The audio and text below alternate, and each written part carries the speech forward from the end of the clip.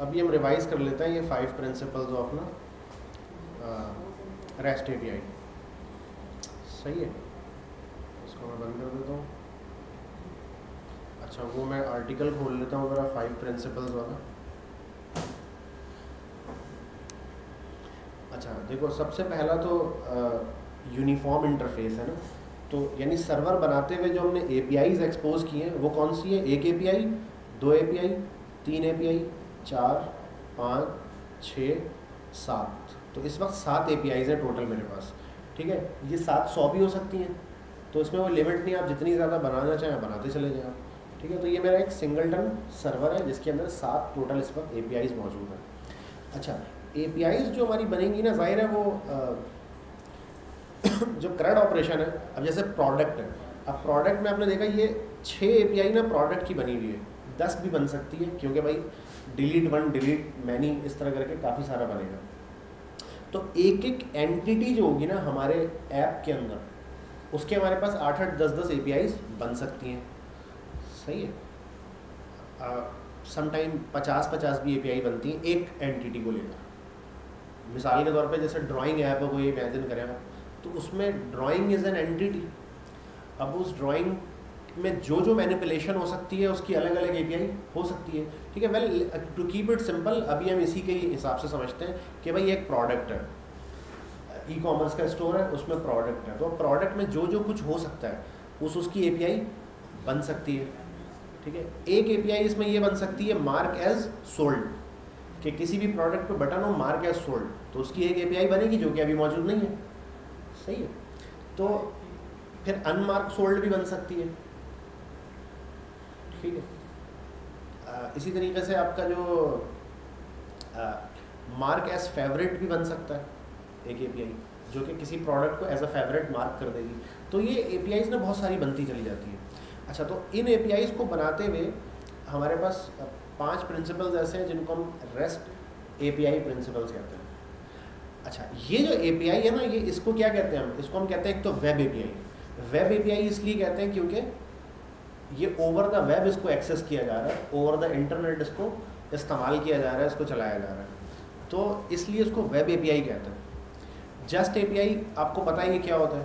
कि कोई भी मशीन है उसका जो इंटरफेस किसी दूसरी मशीन के लिए बना हुआ है दैट इज़ एन ए तो एपीआई तो ये है, लेकिन ये क्या है? ये वेब एपीआई है। इसको वेब के थ्रू यूज़ किया जा रहा है। जो एसी का रिमोट मैं यहाँ से बैठ के दबा रहा हूँ that is not web API ठीक है? रिमोट एक मशीन है एसी एक मशीन है। दोनों आपस में बात करें but this is not web A this is just an A ठीक है? तो इसको हम वेब एपीआई कहते हैं। तो ये दूसरी बात हो गई। अच्छा। तीसरी बात ये इसके ना कुछ और भी नाम है, वो मैं चाहता हूँ, वो भी आपको पता चल जाए। इसको वेब सर्विसेज़ भी कहते हैं समटाइम ठीक है? तो वेब सर्विसेज़ का मतलब है कि ये this one is a service this one is another service तो ये सात ए या सात वेब ए या सात वेब सर्विसेज़ हैं। ठीक है? तो वेब सर्विसेज़ भी इसको कहते हैं कुछ लोग। कुछ जगहों पे आपको इसका नाम एक और भी मिलेगा। आ, अभी मेरे जहन से निकल रहा है एक इसका नाम और भी है कुछ। वेल तो ये वेब ए या ये वेब सर्विसेज़ सिर्फ़ नॉट जेएस में तो नहीं बनती। दूसरे फ्रेमवर्क भी हैं उसको बनाने के लिए, जिसमें ये बन जाती है। जैसे कि पीएचपी एक फ्रेमवर्क है, जिसमें सर्वर लिखा जाता है। इसी तरह की वेब एपीआई उसमें भी बनती है। इसी तरह उसमें क्वेरी क्योंकि ये जो स्टैंडर्ड है, जिसके थ्रू इस एपीआई को एक्सेस किया जा रहा है that is HTTP standard H S standard जो भी आप इसको कह रहे हैं। तो उसमें क्या होता है कि भाई यूआरएल होगा, उसके अंदर क्वेरी पैरामीटर होंगे, उसके अंदर यूआरएल पैरामीटर होंगे यूआरएल के साथ बॉडी हो सकती है। तो ये सारे, ये स्टैंडर्ड्स आप फॉलो करते हैं। तो जो नॉट जी पे मैं बना रहा हूँ वेब ए सेम वही वेब ए पी एच भी बन सकती है। उसका सेम इंटरफेस होगा। HTTP इंटरफेस जिसको हम कह सकते हैं। तो और सी शार्प में भी बनती है। सेम यही चीज़ बनेगी। डॉट नेट जो उनका अपना फ्रेमवर्क है। उसके अलावा सी प्लस प्लस में भी सर्वर लिखे जा सकते हैं। अभी रस्ट एक है पाइथन है। इन सब में सर्वर लिखे जा सकते हैं। अच्छा तो ये जो एपीआई है ना, एक तो ये स्टैंडर्ड फॉलो करेगी एच का, कि इसमें URL होगा यूआरएल पैरामीटर हो सकते हैं, आपके क्वेरी पैरामीटर हो सकते हैं, और बॉडी होगा हेड होगा, एक प्रॉपर एक तरीका। तो ये तो एच ये तो सब लोग फॉलो करेंगे ही करेंगे। लेकिन अब बॉडी में क्या रख के भेजेंगे, क्या रख के वापस आएगा ना दिस इज़ अनदर स्टैंडर्ड ठीक है? तो हम जो वो वाला स्टैंडर्ड फॉलो कर रहे हैं कि बॉडी में क्या रख के भेजेंगे और क्या रख के वापस आएगा और कैसे कैसे रखा जाएगा। अब यूआरएल तो है, लेकिन उस यूआरएल को ऑर्गेनाइज कैसे करेंगे? अभी एक ही प्रोडक्ट है, उसकी 25 ए है, उसको ऑर्गेनाइज कैसे करेंगे? तो उस ऑर्गेनाइजेशन के लिए ना स्टैंडर्ड तो नहीं कह सकते इसको, एक काइंड ऑफ़ कन्वेंशन है ये। कन्वेंशन ये होता है कि जो कोई मतलब ऐसा नहीं है कि उसको आप फॉलो नहीं करें तो ऐप ना बने ऐप बन जाएगी। लेकिन कन्वेंशन ये होता है कि दो डेवलपर्स ने आपस में तय कर लिया कि ऐसे करेंगे। तो दैट इज़ अ कन्वेंशन तो वो कुछ प्रिंसिपल्स हैं, अगर आप उनको फॉलो करते हैं, चाहे आप नॉट जे में सर्वर बना रहे हैं, चाहे आप सी प्लस प्लस में बना रहे हैं, चाहे सी शार्प में बना रहे हैं, चाहे पाइथन में या पीएचपी में। अगर आप इन प्रिंसिपल्स को फॉलो करते हैं तो आप अपनी उस वेब एपीआई को रेस्टफुल वेब एपीआई कह सकते हैं। ठीक है? या इन शॉर्ट रेस्ट एपीआई कह सकते हैं। अच्छा तो जो रेस्ट एपीआई होगी, वो बाय डिफ़ॉल्ट वेब वाली में ही होता है। मतलब एसी वाले रिमोट इसमें मैं रेस्ट एपीआई नहीं बना सकता। ये वेब वाले के लिए ही स्पेसिफाइड है ये कन्वेंशन ठीक है? चाहे मैं पीएचपी में बना रहा हूँ, अगर मैं इन प्रिंसिपल्स को फॉलो करूँगा वेब एपीआई तो वो पहले से है। इन प्रिंसिपल्स को फॉलो करूँगा पीएचपी पे सर्वर लिख रहा हूँ तो वो भी मेरी रेस्ट ए बन जाएगी। अच्छा। तो सबसे पहला इसका प्रिंसिपल है यूनिफॉर्म इंटरफेस ना। अच्छा यूनिफॉर्म इंटरफेस जो है वो, उसका ताल्लुक किससे है? यूआरएल की ऑर्गेनाइजेशन से। देखो, अब प्रोडक्ट है ना, अगर प्रोडक्ट पोस्ट हो रही है तो रिक्वेस्ट पोस्ट की है स्लैश प्रोडक्ट रिक्वेस्ट गेट की है स्लैश प्रोडक्ट में एस लगा हुआ है। सही है? तो मैं एक ही नाम से दो एपीआई बना सकता हूँ। देखो मैंने इन दोनों का सेम नाम रखा है प्रोडक्ट और प्रोडक्ट सही है? एक में पोस्ट है, एक में गेट है तो ये अलग अलग है। ठीक है? तो मैं ऐसे रख सकता हूँ। वेल इसमें एस लगाना ज़रूरी है, क्योंकि इसका काम उससे रिलेटेड है एस से। तो मैंने इसमें एस लगा दिया। ठीक है? तो आप एक ही नाम से चार अलग अलग मेथड बना सकते हैं और आपको एक ही नाम रखना चाहिए। आप ऐसा नहीं करेंगे कि आपने इसको गेट प्रोडक्ट कर दिया। सही, इसको बल्कि गेट नहीं होगा ये। जैसे ना आपने कहा कि क्रिएट ऐसे प्रोडक्ट कर दिया आपने। इसको कह दिया कि आपने गेट प्रोडक्ट सही, ऐसा नहीं करेंगे आप। ठीक है, एक बुक है रेस्ट एपीआई डिज़ाइन तो अगर आप कोई भी इस टॉपिक को डिटेल में पढ़ना चाहें तो वो रेस्ट एपीआई डिज़ाइन वाली आप बुक जो है ना पढ़ सकते हैं। मैं आपको उसकी शक्ल दिखा देता हूँ।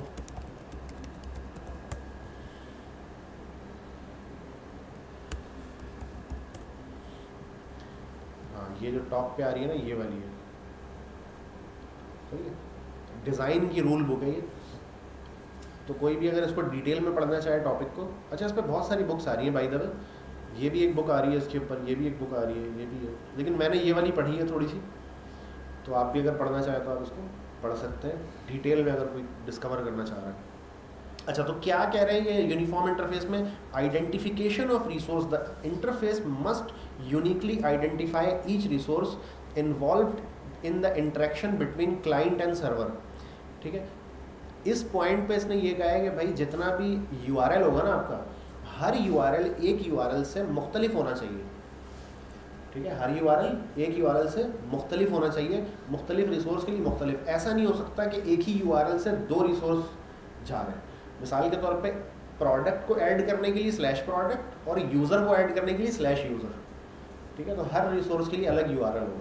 अब ये बिल्कुल ही बेसिक से फ्रॉम स्क्रैच कर रहे हैं तो आप आप कह रहे हो यार ये तो पहले से पता है। तो ये इसमें वो सारी चीज़ें हैं जो आपको पहले से पता है। ये पाँचों प्रिंसिपल जो है ना, ये आपको पहले से पता है। आपने किया भाई आप सोच रहे होंगे ना कि यार स्लैश प्रोडक्ट से यूज़र कौन क्रिएट करता है? या ऐसा तो हमने कभी भी नहीं किया कि स्लैश प्रोडक्ट पे रिक्वेस्ट मारी तो यूज़र भी क्रिएट हो गया प्रोडक्ट भी क्रिएट हो गया ऐसा तो कभी नहीं किया। ठीक है तो ये वही चीज़ें जो आपको पहले से पता है। Manipulation of resource through representations the resource अच्छा रिसोर्स ये किसको कह रहे हैं? यूआरएल को कह रहे हैं। ठीक है, या यूआरएल के पीछे जो चीज़, जैसे प्रोडक्ट है ना अली बाबा पे आप क्या है एक प्रोडक्ट आपने ऐड किया। तो एक्चुअली आपने सर्वर पे एक रिसोर्स क्रिएट की है ना डेटाबेस में एक रिसोर्स क्रिएट की है। वो किसी भी फॉर्म में हो सकता है रिसोर्स वो ऑडियो वीडियो हो सकता है, या जस्ट एक जेसन हो सकता है लाइक अ प्रोडक्ट जो अभी हम ऐड कर रहे हैं that is just a JSON तो ये उसको रिसोर्स कह रहे हैं कि the resource should have uniform representation in the server response ठीक है? कि भाई रिस्पॉन्स जो ना, वो एक जैसा आना चाहिए। मतलब कि एरर का मैसेज अगर किसी में मैंने लगाया ना ई आर आर करके दिया है एरर का मैसेज तो सब में फिर वही होना चाहिए। ऐसा नहीं है कि किसी में एरर पूरा लिखा हुआ है, किसी में ई आर आर लिखा हुआ है, किसी में कुछ और लिख दिया आपने, ऐसा नहीं होना चाहिए। आपको ना, यानी जो रिक्वेस्ट जा रही है, उसका जो इंटरफेस है, वो यूनिफॉर्म होना चाहिए और वापस जो रिस्पॉन्स आ रहा है, वो भी यूनिफॉर्म होना चाहिए। मतलब जितने भी आपकी ए हैं आपके सर्वर पे, अगर मैं किसी भी एपीआई कॉल पे अगर एरर को डिटेक्ट करना चाह रहा हूँ तो डॉट ई आर आर लिखूँ और हो जाए। जो भी यानी सेटिस्फाई किया हुआ है शुरू में आपने तो वो एक रूल के तहत रिक्वेस्ट जाएगी और वापस आएगी। आने और जाने वाली रिक्वेस्ट यूनिफॉर्म होगी आपकी। अच्छा A P I consumer should use this representation to modify the resource state in the server ठीक है, जो कंज्यूमर होगा ना, उसके लिए आसानी पैदा करता है कि आप मतलब जैसे मैं एक वेदर की ए पी आई यूज़ कर रहा हूँ, क्या हो गया इसको? एक वेदर की ए पी आई यूज़ कर रहा हूँ तो मुझे पता है कि मैं चाहे फोरकास्ट दस दिन का मंगा रहा हूँ या चार दिन का मंगा रहा हूँ डॉट एरर पे मुझे एरर मिलेगा अगर हुआ तो। ठीक है? या डॉट एरर मैसेज पे उस तरह का मैसेज मिलेगा जो यूज़र को दिखाने वाला तो इस तरह की चीज़ होनी चाहिए। ठीक है? Self descriptive messages each resource representation should carry enough information to describe how to process the message it should also provide information of the additional action of the client can perform on the resource अच्छा इन्होंने तो यार काफ़ी ज़्यादा मुश्किल करके बताया। लेकिन सेल्फ डिस्क्रिप्टिव जो है ना, आप इसको समझ लें इस तरह के आपकी जो रिसोर्स है पोस्ट की रिक्वेस्ट है और स्लैश प्रोडक्ट आपने लिखा हुआ है। तो इससे आपको समझ आ रहा है कि प्रोडक्ट पोस्ट हो रही है सर्वर में ठीक है? अच्छा सेल्फ डिस्क्रिप्टिव या सेल्फ डॉक्यूमेंटेड भी, ये देख रहे हैं आप, यहाँ पे मैंने एरर के मैसेज में क्या लिख कर बताया अगर कोई गलत कॉल करता है इस एपीआई को तो उसको ये एरर का मैसेज मिलेगा। तो ये एपीआई अपने आप को खुद से क्या कर रही है? एक्सप्लेन कर रही है। ठीक है? अपनी डिस्क्रिप्शन खुद दे रही है यार ऐसे करके कॉल करो। तो ये दोनों चीज़ें क्या आ जाती हैं? सेल्फ डिस्क्रिप्टिव में आ जाती हैं। ठीक है? Hyper media engine application state ये पता नहीं क्या इन्होंने लिखा है। अच्छा क्लाइंट सर्वर क्लाइंट सर्वर जो है वो क्या है? सेपरेशन ऑफ़ कंसर्न है। सेपरेशन ऑफ़ कंसर्न का मतलब ये है कि जो आपकी ऐप डिज़ाइन होगी ना फ्रॉम द डे वन उसमें क्या होगा? फ्रंट एंड बिल्कुल अलग होगा और बैक एंड बिल्कुल अलग होगा। इतना अलग होगा कि फ्रंट एंड को कहीं और होस्ट किया जा सके और बैक एंड को कहीं और होस्ट किया जा सके। ये हम कर चुके हैं। फ्रंट एंड को हम फायर बेस पे सर्च पे नेटलीफाई पे होस्ट करते थे। बैक एंड को हम साइक्लिक पे होस्ट करते थे। ठीक है? और दोनों ऐप एक दूसरे से बात करती थी ईजली असल में पुराने ज़माने में ऐसा नहीं होता था। या अभी भी जो दूसरे जो इदारे कोर्सेज करवा रहे हैं, वो आमतौर पर इस तरह नहीं करवाते कोर्स जैसे पी एच पी अगर आप में से किसी ने पढ़ी है तो उसमें वही पढ़ाया होगा आपने कि उसमें एक इंजन होता है, उसको क्या पता नहीं बोलते हैं, उससे पेज जनरेट किया जाता है रन टाइम पर। ठीक है? मिसाल के तौर पे, उस वाले अप्रोच में ये हो रहा होता है कि एक रिक्वेस्ट आई ना आपके पास कि गेट ऑल प्रोडक्ट्स जैसे ये वाली रिक्वेस्ट है गेट ऑल प्रोडक्ट तो इसमें मैं क्या भेज रहा हूँ? मैं यहाँ से जेसन भेज रहा हूँ ना। वो जेसन नहीं भेजते। उनके पास ना HTML के पेजेस बने हुए पड़े हुए होते हैं, वो कहते हैं हेड उठाओ और हेडर और फूटर उठाओ और बीच में ये एच वन और ये पैराग्राफ लगाओ और ये पूरा पेज तैयार करके भेजो। ठीक है? तो इस तरह से हो रहा होता है। ये थोड़ी सी पुरानी अप्रोच है। अच्छा ये एक्सप्रेस के सर्वर में भी ये पॉसिबल है। एक्सप्रेस के सर्वर में एक चीज़ होती है दैट इज़ कॉल्ड ई और एक और भी है फ़ेमस जेड ठीक है? ये दो चीज़ें इस्तेमाल होती हैं, अगर आपने वो पुरानी वाली अप्रोच करनी है तो। ठीक है? एक बुक है एक्सप्रेस इन एक्शन पता नहीं किसकी है एक्सप्रेस इन एक्शन नाम है। तो उसके अगर वो बुक आप पढ़ेंगे ना एक्सप्रेस की तो उसमें एक्चुअली इस वाले अप्रोच से पढ़ाया गया तो पहले वही वाली बुक फॉलो होती थी। आ, मतलब मैंने वो बुक पढ़ाई है लेकिन अब मैं वो बुक नहीं यूज़ करता पढ़ाने के लिए क्योंकि मसला ये है वो ये ये वाली अप्रोच जो है ना जब यहाँ पहुँचता है स्टूडेंट वो कहता है कि यार ये तो कुछ और है। सम टाइम स्टूडेंट को लगता है कि ये वाला नया आइटम है नया मन जाने कोई वो कहता है, यार, इस पर मैं ग्रिप लूँगा। तो इसलिए मैंने वो बुक ही हटा दी। ठीक है? ताकि वो, हम एक्सप्लेन करना पड़ता था कि नहीं भाई, ये पुराना है, नया वाला जो कुछ और है। अब वो उस वाले पे किसी ने बुक ही ढंग की नहीं लिखी है अभी तक। या यूँ कह लो कि मेरी नज़र से कोई बुक नहीं गुजरी फ़िलहाल, वरना वो यूज़ कर लेते हैं हम पढ़ने के लिए। वेल तो उसमें क्या होता है कि कंटेंट को रन टाइम पे जनरेट करके ना यूज़र को भेजते हैं। अब उसमें होता क्या है कि फ्रंट एंड अलग से नहीं होता, एक ही सर्वर होता है। उस पर आप गेट ऑल प्रोडक्ट करते हैं, पूरा पेज बनकर आता है। हर दफ़ा पूरा पेज रीलोड होता है सिंगल पेज भी नहीं बना सकते आप ऐप को।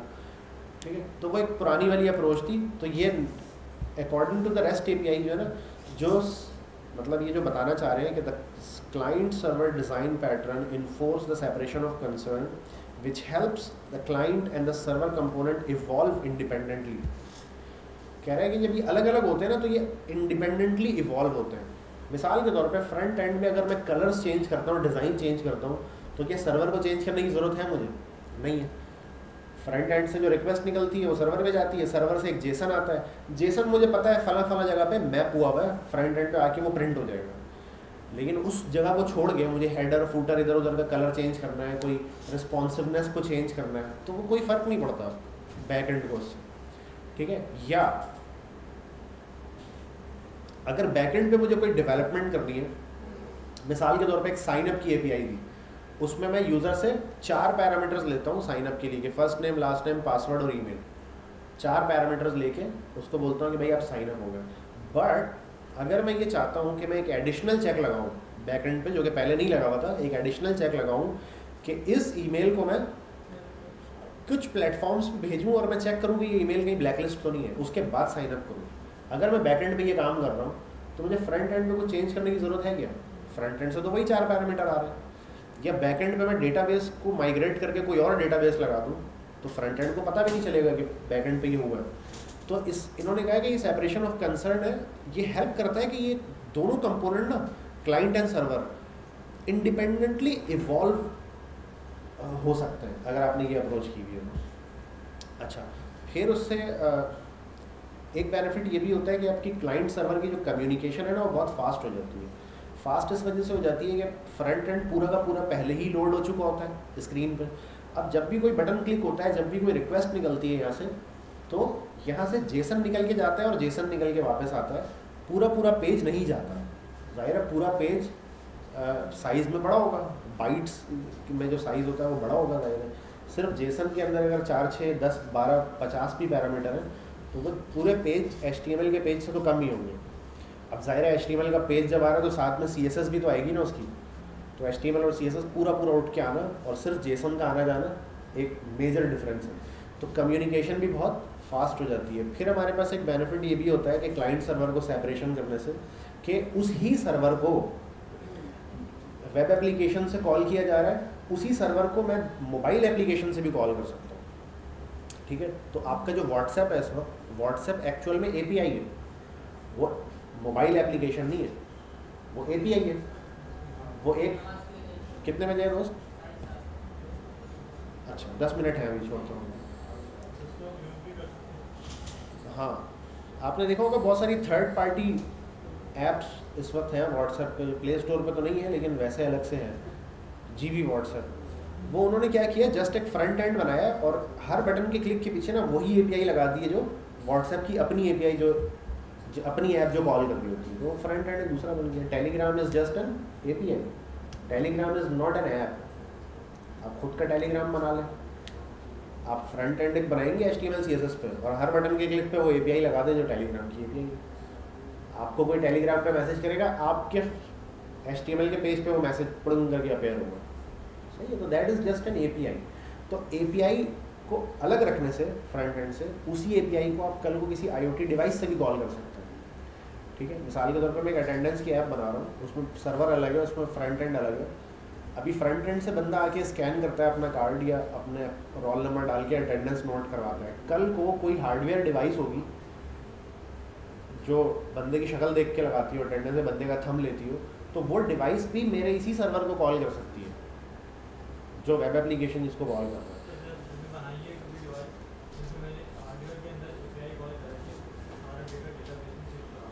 तो ये इन्होंने किया हुआ भी है जो मैं बता रहा हूँ।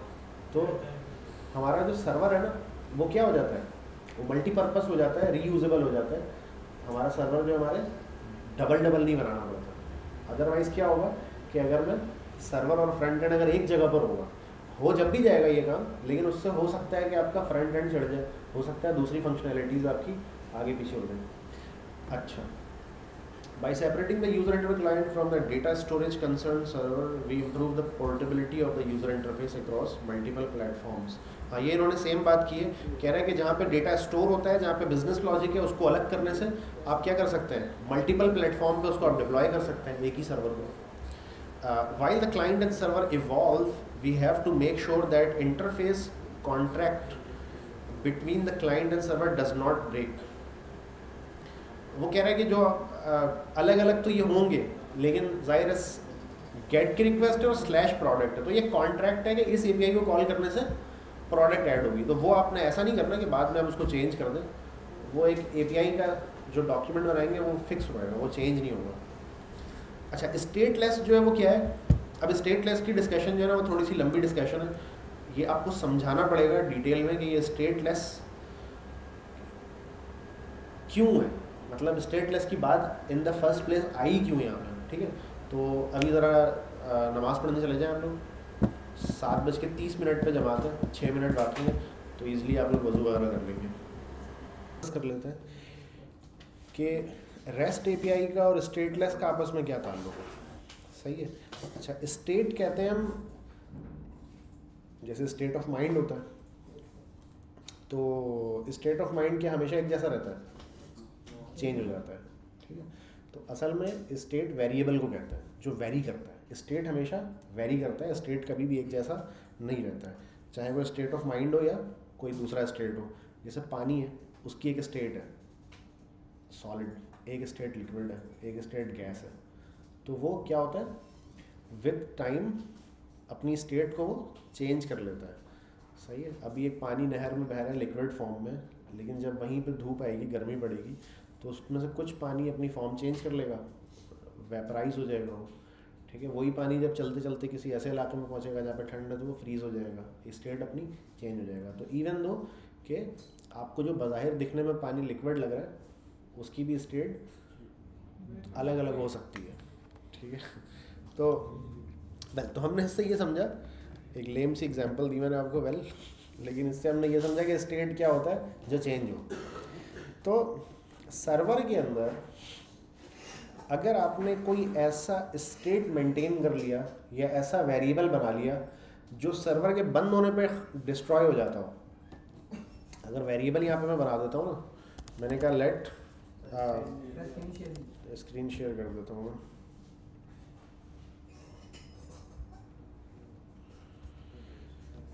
अगर यहाँ पे मैं बंद कर देता हूँ let visitor equals to zero ठीक है? विजिटर्स अब मैं या रिक्वेस्ट बना देता हूँ मैं इस पर कि कितनी रिक्वेस्ट आ रही है मेरे पास? एपीआई कॉल्स आ रही है।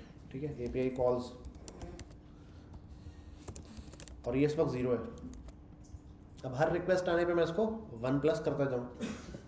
होता रहेगा। ठीक है? फिर मैं एक एपीआई भी बना दूँ, जो इसको गेट करे।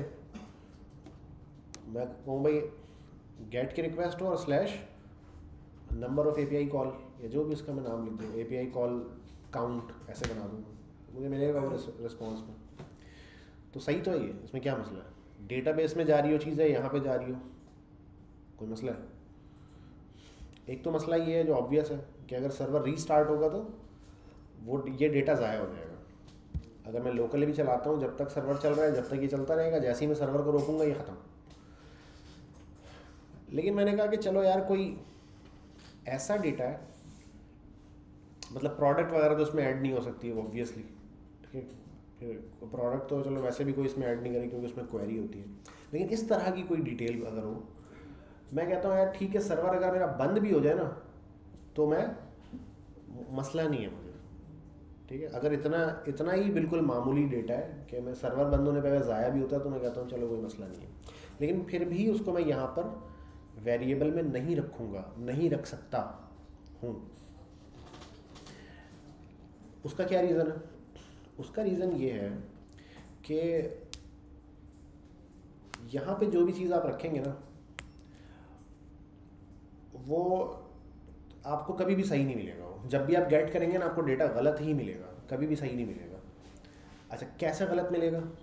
नंबर एक बात तो ये कि सर्वर जब हम साइक्लिक जैसे किसी प्लेटफॉर्म पे जब हम डिप्लॉय करते हैं तो उसमें एक नॉर्मल बिहेवियर ये है कि अगर चार पाँच मिनट दस मिनट पंद्रह मिनट ना आपने वो यूज़ नहीं किया उसको तो ऑटोमेटिक आपका सर्वर क्या हो जाता है? डाउन हो जाता है। ठीक है? बंद होना नहीं बोलेंगे उसको डाउन होना बोलेंगे। या उसको हम कहते हैं कि आपका कंटेनर उन्होंने रिमूव कर दिया ये ठीक है? वो एक्चुअल मशीन तो नहीं बंद हुई लेकिन आपकी ऐप बंद हो गई है। तो वो कब कैसे बंद हो जाए, आपको पता ही नहीं चलेगा। आपने चलो प्रीमियम प्लान ले लिया, आपने कहा, यार, बंद नहीं होना चाहिए मेरा। ये स्लीप में जाता है ना जो स्लीप में ना जाए। ठीक है? स्लीपलेस चले वो।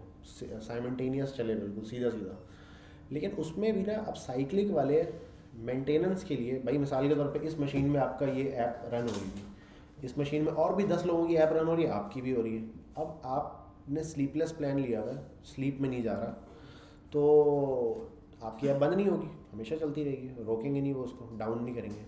लेकिन इस मशीन के हार्डवेयर में कोई मसला आ गया अगर, और उन्होंने इस मशीन को मेंटेनेंस के लिए डाउन करना है तो आपकी ऐप को वो कैसे फिर करेंगे? पहले किसी दूसरी मशीन में आपकी ऐप रन करेंगे और फिर इसको डाउन करेंगे, ताकि आपको डाउन टाइम फेस ना करना पड़े, लेकिन एक्चुअल में ऐप क्या होगी? रीस्टार्ट होगी आपकी। और इसको आप अवॉइड नहीं कर सकते, किसी भी हाल में नहीं कर सकते। ये वाला जो रीस्टार्ट है ना, इसको आप अवॉइड नहीं कर सकते।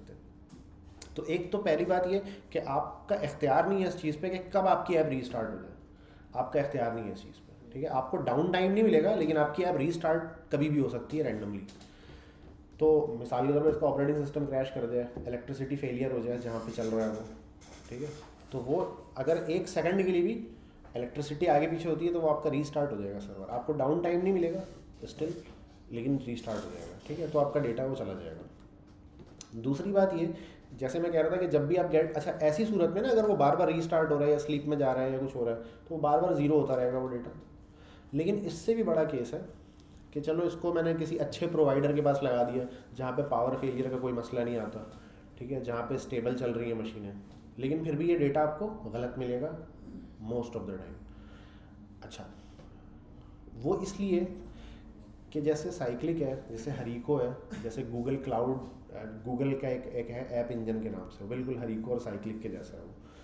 तो वो जब आपकी ऐप को डिप्लॉय करते हैं ना अपने पास तो मोस्ट ऑफ़ द जो क्लाउड प्रोवाइडर्स हैं they are using orchestration system ठीक है? वो मैनुअली ये काम नहीं हो रहा सारा, पीछे ऑटोमेट हुआ हुआ है। अब ये ऑर्केस्ट्रेशन सिस्टम क्या चीज़ होती है? कोई बता सकता है? नाम सुना है वर्ड ऑर्केस्ट्रेशन करो गूगल करो ऑर्केस्ट्रेशन किस चीज़ को कहते हैं? हाँ।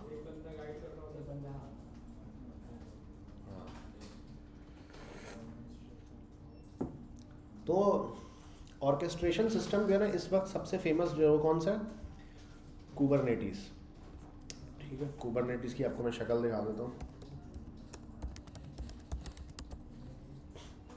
ये उसका जो है ना काइंड ऑफ़ लोगो है। ये लोगो देख के आप समझ जाएँगे कि यार ये कुबरनेटिस की बात हो रही है। तो ये ना कुबरनेटिस पे कहानी चल रही है सारी। अच्छा कुबरनेटिस में और नॉर्मल यानी मैनुअल काम करना मतलब ये क्या बात है? कुबरनेटिस क्या कर रहा है ऐसा पीछे? इसके लिए मैं एक ड्राइंग ऐप खोल लेता हूँ, ताकि आपको मैं ड्रॉ करके उस पर बता सकूँ कि ये क्या चक्कर चल रहा है। वो ये क्या हुआ इसको? ये क्या खोल दिया मैंने? अपडेट हुआ है। क्या भाई, याद कर दिया उसको।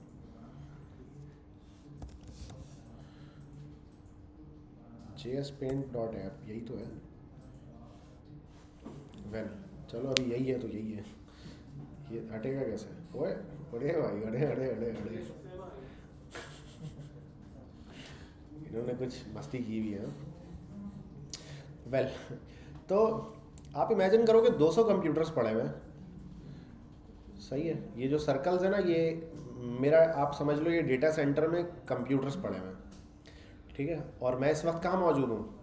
साइक्लिक के डेटा सेंटर में मौजूद हूँ। डेटा सेंटर कह लो या उनका सर्वर रूम कह लो या वेयर हाउस कह लो, जो भी कह लो, यानी ग्राउंड पे जो भी मशीनों में जिस तरह वो रन कर रहे हैं। अब मेरे पास एक, दो, तीन, चार, पाँच छः सात, आठ, नौ, दस, ग्यारह, बारह मशीन हैं टोटल यहाँ पर ठीक है? एक्चुअल में ये बारह मशीनें नहीं होंगी, ये बारह सौ मशीनें होंगी गूगल क्लाउड के केस में गूगल ऐप इंजन के केस में। अच्छा इनमें से हर एक मशीन जो है ना, वो काफ़ी कैपेबल मशीन है। काफ़ी कैपेबल मशीन होने का मतलब है कि मे बी इसमें दो सौ छप्पन जी बी रैम होगी नॉर्मली इतनी होती है। और अच्छा वाला एक प्रोसेसर लगा हुआ होगा। एक नहीं, बल्कि दो तीन होंगे। एक ही बोर्ड पे दो तीन प्रोसेसर लगे हुए होंगे। और इसके साथ अच्छी खासी स्टोरेज कनेक्टेड होगी। मतलब कम से कम 10 से 12 टेराबाइट ठीक है स्टोरेज कम होती है थोड़ी रैम काफ़ी ज़्यादा रखते हैं। क्योंकि रैम से ताल्लुक है कि कितनी ऐप उसमें एट अ टाइम चल सकती है, इसका ताल्लुक रैम से। तो दो सौ छप्पन जी बी रैम रैम जो है इस वक्त नॉर्मली लोग यूज़ कर रहे हैं सर्वर में अच्छा तो दो सौ छप्पन जी बी का रैम का मतलब कितना है? एक यूज़र को पाँच सौ बारह एम बी दे रहे हैं ये। तो दो सौ छप्पन जी बी में कितना चला? टोटल पाँच सौ बारह यूज़र। तो एक इसके अंदर ना नॉर्मली पाँच सौ बारह ऐप्स जो आप एक ऐप डिप्लॉय करते हैं ना, आपको कहता है तीन ऐप कर लो डिप्लॉय फ्री में। तो इस एक मशीन में इन थ्योरी 512 ऐप्स चल सकती हैं साइमल्टेनियसली अपने फुल पोटेंशियल में। यानी फुल रिक्वेस्ट आ रही है फुल दमादम इस्तेमाल हो रहा है। ठीक है? लेकिन ये 512 नहीं रखते होंगे मोस्ट प्रॉब्ली ये कम से कम चार हज़ार ऐप्स इसमें चलाते होंगे। ठीक है, क्योंकि जो साइक्लिक पे ऐप चल रही है, उसमें इतना ज़्यादा लोड आमतौर पे नहीं होता है और ख़ास तौर पे फ्री प्लान में ज़्यादातर डेवलपर्स जो है, वो टेस्टिंग के लिए या प्रोटोटाइपिंग वगैरह की चीज़ें उस पर डिप्लॉय कर रहे होते हैं। फ्री प्लान की बात करें तो फ्री प्लान में कम से कम उसमें तीन हज़ार या चार हज़ार ऐप चलाते होंगे एक मशीन के ऊपर। अच्छा ये समझ आ गया कि हम इस वक्त मौजूद साइक्लिक के डेटा सेंटर में और अब कुबरनेटिस कहाँ पे आता है? कुबरनेटिस यहाँ पे आता है कि मेरे पास ना एक मिसाल के तौर पे फ्रंट एंड है। ये फ्रंट एंड वेब एप्लीकेशन है मेरे पास। या कोई भी ऐसा एक एक इंटरफेस है जहाँ से एक नॉर्मल यूज़र क्या करता है? अपनी ऐप को डिप्लॉय करता है। तो एक तरीका तो ये हो सकता है कि मैं इस वक्त देखूँ राइट नाउ कि इन बारह कंप्यूटर में से किसमें जगह है। मैंने आइडेंटिफाई कर लिया कि इसमें रिसोर्सेज खाली हैं और मैं इसके ऊपर इसको डिप्लॉय कर दूँ, इस ऐप को। जो भी इस वक्त यूज़र कर रहा है, उसको मैं रिडायरेक्ट कर दूँ कि यार इस मशीन पर भेज दो इसको। और वो फिर उसी मशीन पे चलता रहे हमेशा, जब भी रिक्वेस्ट है उस मशीन पे वो चले। लेकिन इसमें प्रॉब्लम क्या है, मसला क्या है?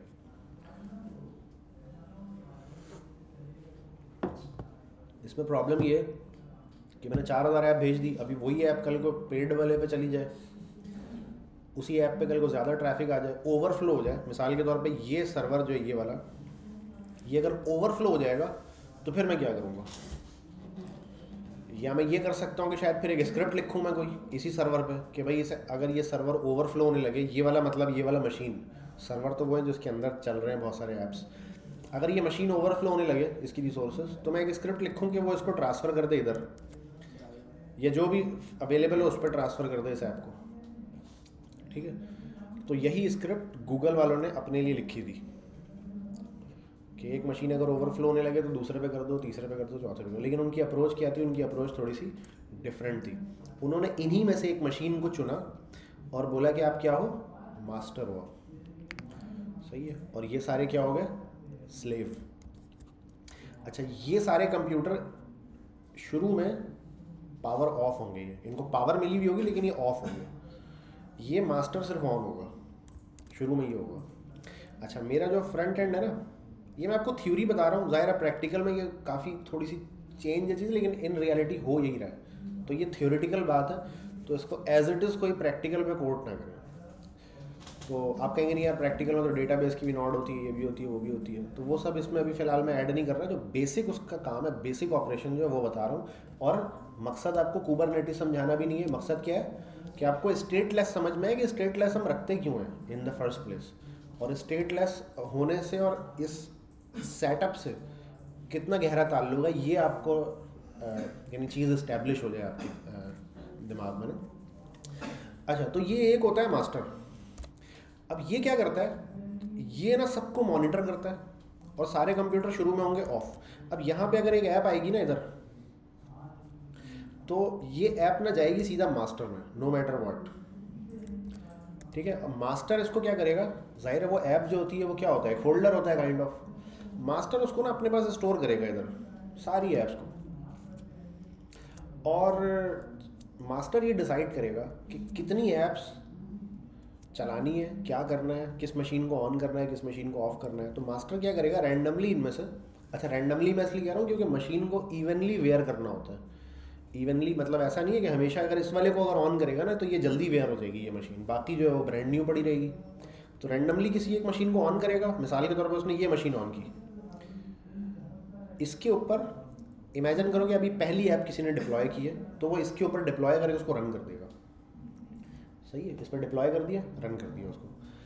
अच्छा लेकिन उस ऐप की कॉपी इसके पास मास्टर के पास मौजूद है, वो ख़त्म नहीं किया इसने। और इसको आइडेंटिफिकेशन की भी एक एक लिस्ट बना के रखी हुई है कि अच्छा यार, मैंने इस ऐप को फला मशीन पर डिप्लॉय किया है उसकी आईपी ये है। तो वहाँ से रिक्वेस्ट होती रहेगी। अच्छा अब जैसे ही क्या होगा, इस ऐप के ऊपर इमेजिन कर लो कि बहुत ज़्यादा रिक्वेस्ट आने लग गई। अच्छा एक चीज़ और कुबरनेटिस जो इस पर डिप्लॉय करता है ना तो उसको कहते हैं पॉड सही है? उसको, इसके लिए टर्मिनोलॉजी यूज़ होती है पॉड या उसको कंटेनर कह लो आप। तो एक मशीन है ना जो इसमें दो सौ की रैम लगी हुई है। इसमें एक ऐप जो जा रही है ना, वो एक्चुअली वो पूरा एक कंटेनर होता है। वो कंटेनर क्या चीज़ होती है? वो डॉकर का एक टॉपिक है। मेरी एक वीडियो यूट्यूब पे डॉकर दो वीडियो है बल्कि पार्ट वन पार्ट टू तो उसमें वो डॉकर को पूरा एक्सप्लेन किया कि क्या चीज़ होती है वो। तो डॉकर का ना कंटेनर होता है। वो क्या होता है? एक प्राइवेट एनवायरनमेंट होता है पूरी मशीन होती है वो। वर्चुअल मशीन के बाद वो एक लेटेस्ट टेक्नोलॉजी है। तो वो ये ना उस सूरत में भेज रहा होता है। तो ये एक्चुअली क्या करता है? यहाँ से ऐप को ऐसे नहीं डिप्लॉय करता कि पूरी मशीन में एक ऐप चल रही है। वो उसका डॉकर का कंटेनर बनाता है और उसको वहाँ पे जाके खड़ा करता है। ठीक है? और ये मशीनें जितनी भी है ना, ये पॉड जिसको कहते हैं, कि भाई एक पॉड ऑन कर दिया, दो पॉड ऑन कर दिया, तीन पॉड ऑन कर दिया, ठीक है? तो अब ये पॉड का कॉन्सेप्ट भी थोड़ा सा टिपिकल है कि क्या एक मशीन एक पॉड है या उसके अंदर चलने वाली जितनी भी कंटेनर्स हैं, वो हर एक कंटेनर एक पॉड है। तो ये दोनों के बीच की चीज़ है। नहीं एक मशीन एक पॉड नहीं है, ठीक है? मशीन रिगार्डलेस ऑफ़ पॉड अब ये पॉड क्या चीज़ है, इसको अलग से आपको करना पड़ेगा। वेल तो एक कंटेनर इस पर अप कर दिया इसने, इस मशीन पर अब इसने देखा, यार ट्रैफ़िक बहुत ज़्यादा आने लगी है। इस कंटेनर की हदूद से बाहर जा रहा है। तो ये क्या करेगा? इसके पड़ोस वाली रैंडमली कोई दूसरी मशीन ऑन करेगा। उस पर भी कॉपी डिप्लॉय कर देगा। इसी ऐप की। क्योंकि बैकअप तो था इसके पास। उधर भी डिप्लॉय कर दिया। और लोड बैलेंसिंग कर देगा उसके ऊपर। कि कुछ रिक्वेस्ट आएगी तो इधर भेजेगा, कुछ आएगी तो उधर भेजेगा। मशीन की रिसोर्सेज को देखते हुए कि किस पे कितनी रिसोर्सेज अप्लाई हुई हुई ठीक है, फिर आपके पास अगर और ज़्यादा रिक्वेस्ट आएगी तो एक मशीन और ऑन कर देगा। चार मशीनें दस मशीनें ऑन ऑन कर देगा। डिपेंडिंग ऑन कि आपने कौन सा प्लान चूज़ किया हुआ है, कितने पैसे आप पे कर रहे हैं। पे एज यू गो किया हुआ ना, खुला किया हुआ है बिल्कुल। तो हो सकता है दो सौ मशीनें भी चला दें। ठीक है? अमेजोन पर गूगल पे लोगों के साथ ये इंसिडेंट हुआ है कि लोगों ने वो लिमिट लगाना भूल गया तो एक दिन क्या हुआ, किसी ने ब्रूट फोर्स किया, कुछ अटैक वटैक किया। वो पता चला उधर 400 मशीनें चल गई, अचानक। और अगले दिन सत्तर अस्सी हज़ार डॉलर का बिल आया हुआ है। सही है एक ही झटके में। तो ये लोगों के साथ इंसिडेंट हुए तो इसलिए उसमें वो लिमिट बाई डिफ़ॉल्ट अब उन्होंने कर दिया कि यार पता नहीं बीस पच्चीस या तीस मशीनों की लिमिट बाई डिफ़ॉल्ट होती है। तो अब मास्टर के हाथ में है कि किस मशीन को ऑन करना है, किस मशीन को ऑफ़ करना है। ठीक है? तो बाई डिफ़ॉल्ट ना आपकी ऐप क्या होगी? अब आम तौर पे जो कन्फिग्रेशन लोग करते हैं वो क्या है? लोग करते हैं कि मिनिमम चार मशीनें चल रही हो, यानी चार कंटेनर चल रहे हो मिनिमम इससे कम ना हो। आमतौर पे ये जो छोटी मोटी ऐप्स हैं, वो चार कंटेनर चलाती हैं। जो गूगल ऐप इंजन की डिफ़ॉल्ट कन्फिग्रेशन है, वो भी यही है कि मिनिमम चार। आप जेसन रेडीमेड उठाएँगे ना, उसके डॉक्यूमेंट्स उसमें मिनिमम चार होता है मैक्सिमम दस होता है। इस तरह का कुछ कन्फिग्रेशन होता है डिफ़ॉल्ट में तो आपकी ऐप अब चल रही है चार अलग अलग कंप्यूटर्स पर अच्छा कूबर ये तो यहाँ बात हो गई। कूबर के एक दो फ़ायदे और भी बता दूँ। कूबर सेल्फ हीलिंग है। अगर कोई एक मशीन अचानक टेक्निकल ख़राबी की वजह से बिल्कुल ही बंद हो गई, अचानक घुड़स बंद हो गई, धुआँ निकल गया उसमें से तो इस मास्टर को ना पता चल जाता है कि ये मशीन बंद हो गई है। और इसमें जितनी ऐप चल रही थी उसको क्या करेगा वो? उसको किसी दूसरी मशीन पे ऑन कर देगा। हाँ मास्टर ख़राब हो गया ना तो मास्टर का भी इलाज है। असल में ये तो मैंने अभी मास्टर बताया ना मास्टर एक से ज़्यादा भी हो सकते हैं दो तीन चार हो सकते हैं और वो मिल के भी काम कर सकते हैं अलग अलग भी काम कर सकते हैं। हाँ तो ये मास्टर पे भी असल में लोड बैलेंसिंग हुई भी होती है दो तीन मास्टर होते हैं। फिर उसमें डेटाबेस के नोड्स होते हैं। ठीक है? और फिर जैसे मैं कह रहा हूँ रिक्वेस्ट आएगी तो लोड बैलेंसिंग होगा। तो रैंडमली किसी एक को पकड़ के ना गेट वे बनाया हुआ होता है कि जितनी भी रिक्वेस्ट आएगी ना, वो आएगी असल में इस वाले पे। और ये वाला फिर बताएगा कि वो किधर है तो उसको उठा के ना यहाँ से इधर भेजेगा। तो काफ़ी कॉम्प्लिकेटेड सिस्टम है ये। इसको आपको समझने में काफ़ी टाइम लगेगा। इसलिए मैं वो डिटेल में नहीं जा रहा अभी। ठीक है? तो मास्टर भी एक से ज़्यादा हो सकते हैं इसके अंदर। अच्छा मास्टर के अलावा जो मशीन खुद है ना, मशीन खुद भी अपने बारे में बहुत कुछ बताती है। अगर किसी एक मशीन का टेम्परेचर बहुत ज़्यादा हो गया तो वो मास्टर को बता सकती है कि मेरे पास टेम्परेचर ज़्यादा हो गया तो मुझे थोड़ा रिलैक्सेशन दो आप। तो मास्टर उसका लोड कम कर देता है या उसको बंद कर देता है रेस्ट दे देता है। ऑटोमेटिकली तो ये काम आप इमेजिन कि दो हज़ार, पाँच हज़ार, एक लाख कंप्यूटर पड़े हुए हैं सामने और इधर जो मास्टर है ना, एक मास्टर है उसका इमेजिन करें फ़िलहाल। उसको यूँ ऐसे जैसे ऑर्केस्ट्रेशन में ना, ऐसे छड़ी हिला रहे होते हैं और आगे पचास लोग वायलन बजा रहे होते हैं उसके इशारे में। तो काइंड ऑफ़ उस तरह का एक सिस्टम होता है ठीक है तो सबसे जदीद सिस्टम कुबरनेटीज है इस वक्त, इस पॉइंट ये गूगल ने अपने लिए बनाया था, बाद में उन्होंने पब्लिश कर दिया। तो वो किस मशीन को कब ऑन करना है, किसको ऑफ़ करना है, क्या करना है, वो बहुत कुछ चल रहा होता है एट द सेम टाइम तो ये कुबरनेटीज का सेटअप है। जितने भी क्लाउड प्रोवाइडर हैं, ज़्यादातर उनमें से ये वाला इस्तेमाल कर रहे हैं सिस्टम क्योंकि ये कम्युनिटी वर्जन इसका एक तो फ्री भी है। कोई पैसे नहीं लगते, आप घर पे अगर ये लगाना चाह रहे हैं तो कुबरनेटीज का कम्युनिटी वर्जन फ्री है। सही है एंटरप्राइज के पैसे हैं। तो वेल उन्होंने एंटरप्राइज ही लगाया होगा, इतना भी महँगा नहीं है, लगा सकते हैं। तो तो ये मैंने कुछ और भी एक दो बातें बता दी इसके बारे में। अच्छा तो पॉइंट यहाँ पे हमारा रुका आके कि यार, चार मशीनों में चल रही है आपकी सेम ऐप अच्छा चार मशीनों पे एनपीएम स्टार्ट हुआ हुआ। और लोड बैलेंसिंग हुई भी है कि रिक्वेस्ट रैंडमली चारों में से किसी पे भी जा सकती है। जब शुरू हुआ था तो दो, सारे के अंदर विजिटर का जो वेरिएबल था वो ज़ीरो था। सही है? सब में विजिटर का वेरिएबल ज़ीरो था। अब लोड बैलेंसिंग हुई भी है। रिसोर्सेज को देखते हुए, ऐसा भी नहीं कि इवनली डिवाइड किया हुआ है। रिसोर्स को देखते हुए वो लोड बैलेंस करेगा। अब किसी एक मशीन पर रिक्वेस्ट ज़्यादा चली गई, एक या दो ऑब्वियसली ये होगा। तो अगली दफ़ा में दूसरे पे चली गई रिक्वेस्ट तो होगा क्या कि आपके सामने पेज खुला हुआ है? आपको व्यूअर्स दिख रहे हैं कि कितने हो गए अभी? दो हज़ार। अब आप रिफ्रेश करोगे अचानक पाँच। फिर अगली दफ़ा रिफ्रेश करोगे तो पच्चीस सौ। किसी और से आ गया हो, किसी और पे चली गई रिक्वेस्ट फिर रिफ्रेश करोगे तो कुछ और डेटा समझ रहे तो चार अलग अलग डेटा आपको दिखा रहा होगा। जब जब रिफ्रेश करोगे, चारों में से किसी से भी उठ के आ जाएगा वेरिएबल अब इसका तो कोई हल नहीं है। तो स्टेटलेस रखना ही इसका वाहिद हल है। अच्छा अगर आपकी एप्लीकेशन स्टेटलेस नहीं है, ये तो मैंने एक छोटी सी बात बताई है ना, बहुत सारी सर्वर की एप्लीकेशन जो होती हैं, बहुत सारे सर्वर्स जो होते हैं, उसमें ये स्टेट पे बहुत ज़्यादा डिपेंडेंट होते हैं वो। तो अगर इस तरह की ऐप है आपकी, जो स्टेट बहुत ज़्यादा उसमें बना हुआ है तो पहली बात तो वो कूबरनेटिस के इन्वायरमेंट पे चल ही नहीं सकती, वरना वो हर वक्त गलत डेटा देती रहेगी। ठीक है? अभी हमने एक्सपीरियंस किया कि वो कैसे गलत डेटा देगी। दूसरा ये कि अगर कोई सर्वर है जिसमें स्टेट पे बहुत ज़्यादा डिपेंडेंट है वो तो वो सर्वर की जो ए हैं, वो रेस्ट एपीआई नहीं कहला सकती फिर। वो रेस्ट एपीआई नहीं कहलाएगी। ठीक है तो ये हमने ज़रा स्टेट को डिस्कस कर लिया थोड़ा सा। अब वापस आ जाते हैं। पढ़ भी लेते हैं इन्होंने क्या कहा statelessness mandates that each request from the client to the server must contain all the information necessary to understand and complete the request इन्होंने इस बात को थोड़ा मुख्तलिफ़ अंदाज में यहाँ पे बोला है। उन्होंने बोला है, भाई, सर्वर पे जितनी भी रिक्वेस्ट आएगी ना, उस रिक्वेस्ट को समझने और प्रोसेस करने के लिए जो भी इन्फॉर्मेशन चाहिए, वो रिक्वेस्ट अपने साथ लाएगी और साथ ही वापस ले जाएगी। इधर छोड़ के नहीं जाएगी कुछ कि भाई, इधर रख लो, मैं वापस आऊँगी अगली अगली दफ़ा कुछ नहीं मिलेगा। जो आप वापस चले गए तो ख़त्म। अब वापस आओगे अगली दफ़ा तो नए सिरे से होगा, जो भी होगा। ठीक है तो बात मोर और लेस उसने वही की है। The server can not take advantage of any previously stored context information on the server कह रहा है कि सर्वर ये नहीं कर सकता। सर्वर को ये पता नहीं होना चाहिए कि ये रिक्वेस्ट पहली दफ़ा आई है या पाँचवीं हज़ार दफ़ा आई है। अगर सेम रिक्वेस्ट मैं एक दफ़ा करता हूँ और दूसरी दफ़ा करता हूँ तो सर्वर को ये पता नहीं होना चाहिए कि रिक्वेस्ट पहली दफ़ा आई है या दूसरी दफ़ा आई है। कोई कॉन्टेक्स्ट मेंटेन नहीं कर सकता सर्वर अपने पास। ठीक है? तो वो ये वेरिएबल से ही करेगा अगर करेगा तो। For this reason the client application must entirely keep the session state ठीक है?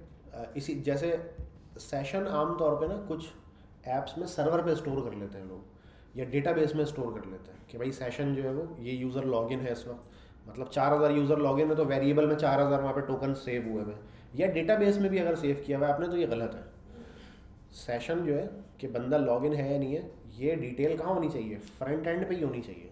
वो हर दफ़ा अपना टोकन साथ लाएगा। ये नहीं होगा कि आपका टोकन स्टोर है अगर तो आप आओगे तो आपको मिलेगा।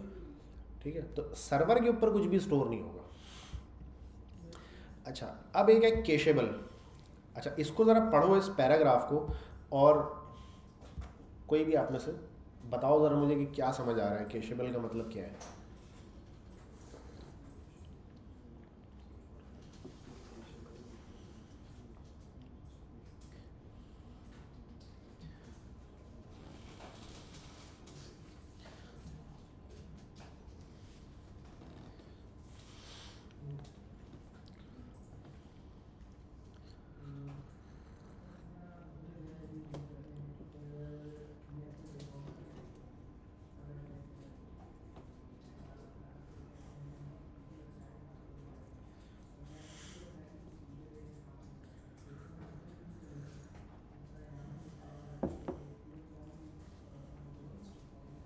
हाँ भाई।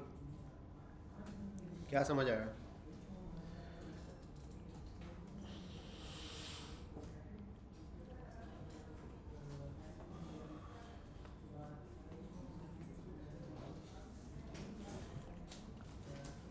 और ये याद रखना केशेबल सर्वर की क्वालिटी है मतलब ये सर्वर की क्वालिटी के तौर पे ये केशेबल बात हो रही है। जैसे स्टेटलेस तो सर्वर स्टेटलेस होगा। केशेबल है तो सर्वर की जो ए पी आईज कह लो या सर्वर कह लो, वो केशेबल होगा। क्या क्या हो सकता है? मतलब केशे का क्या मतलब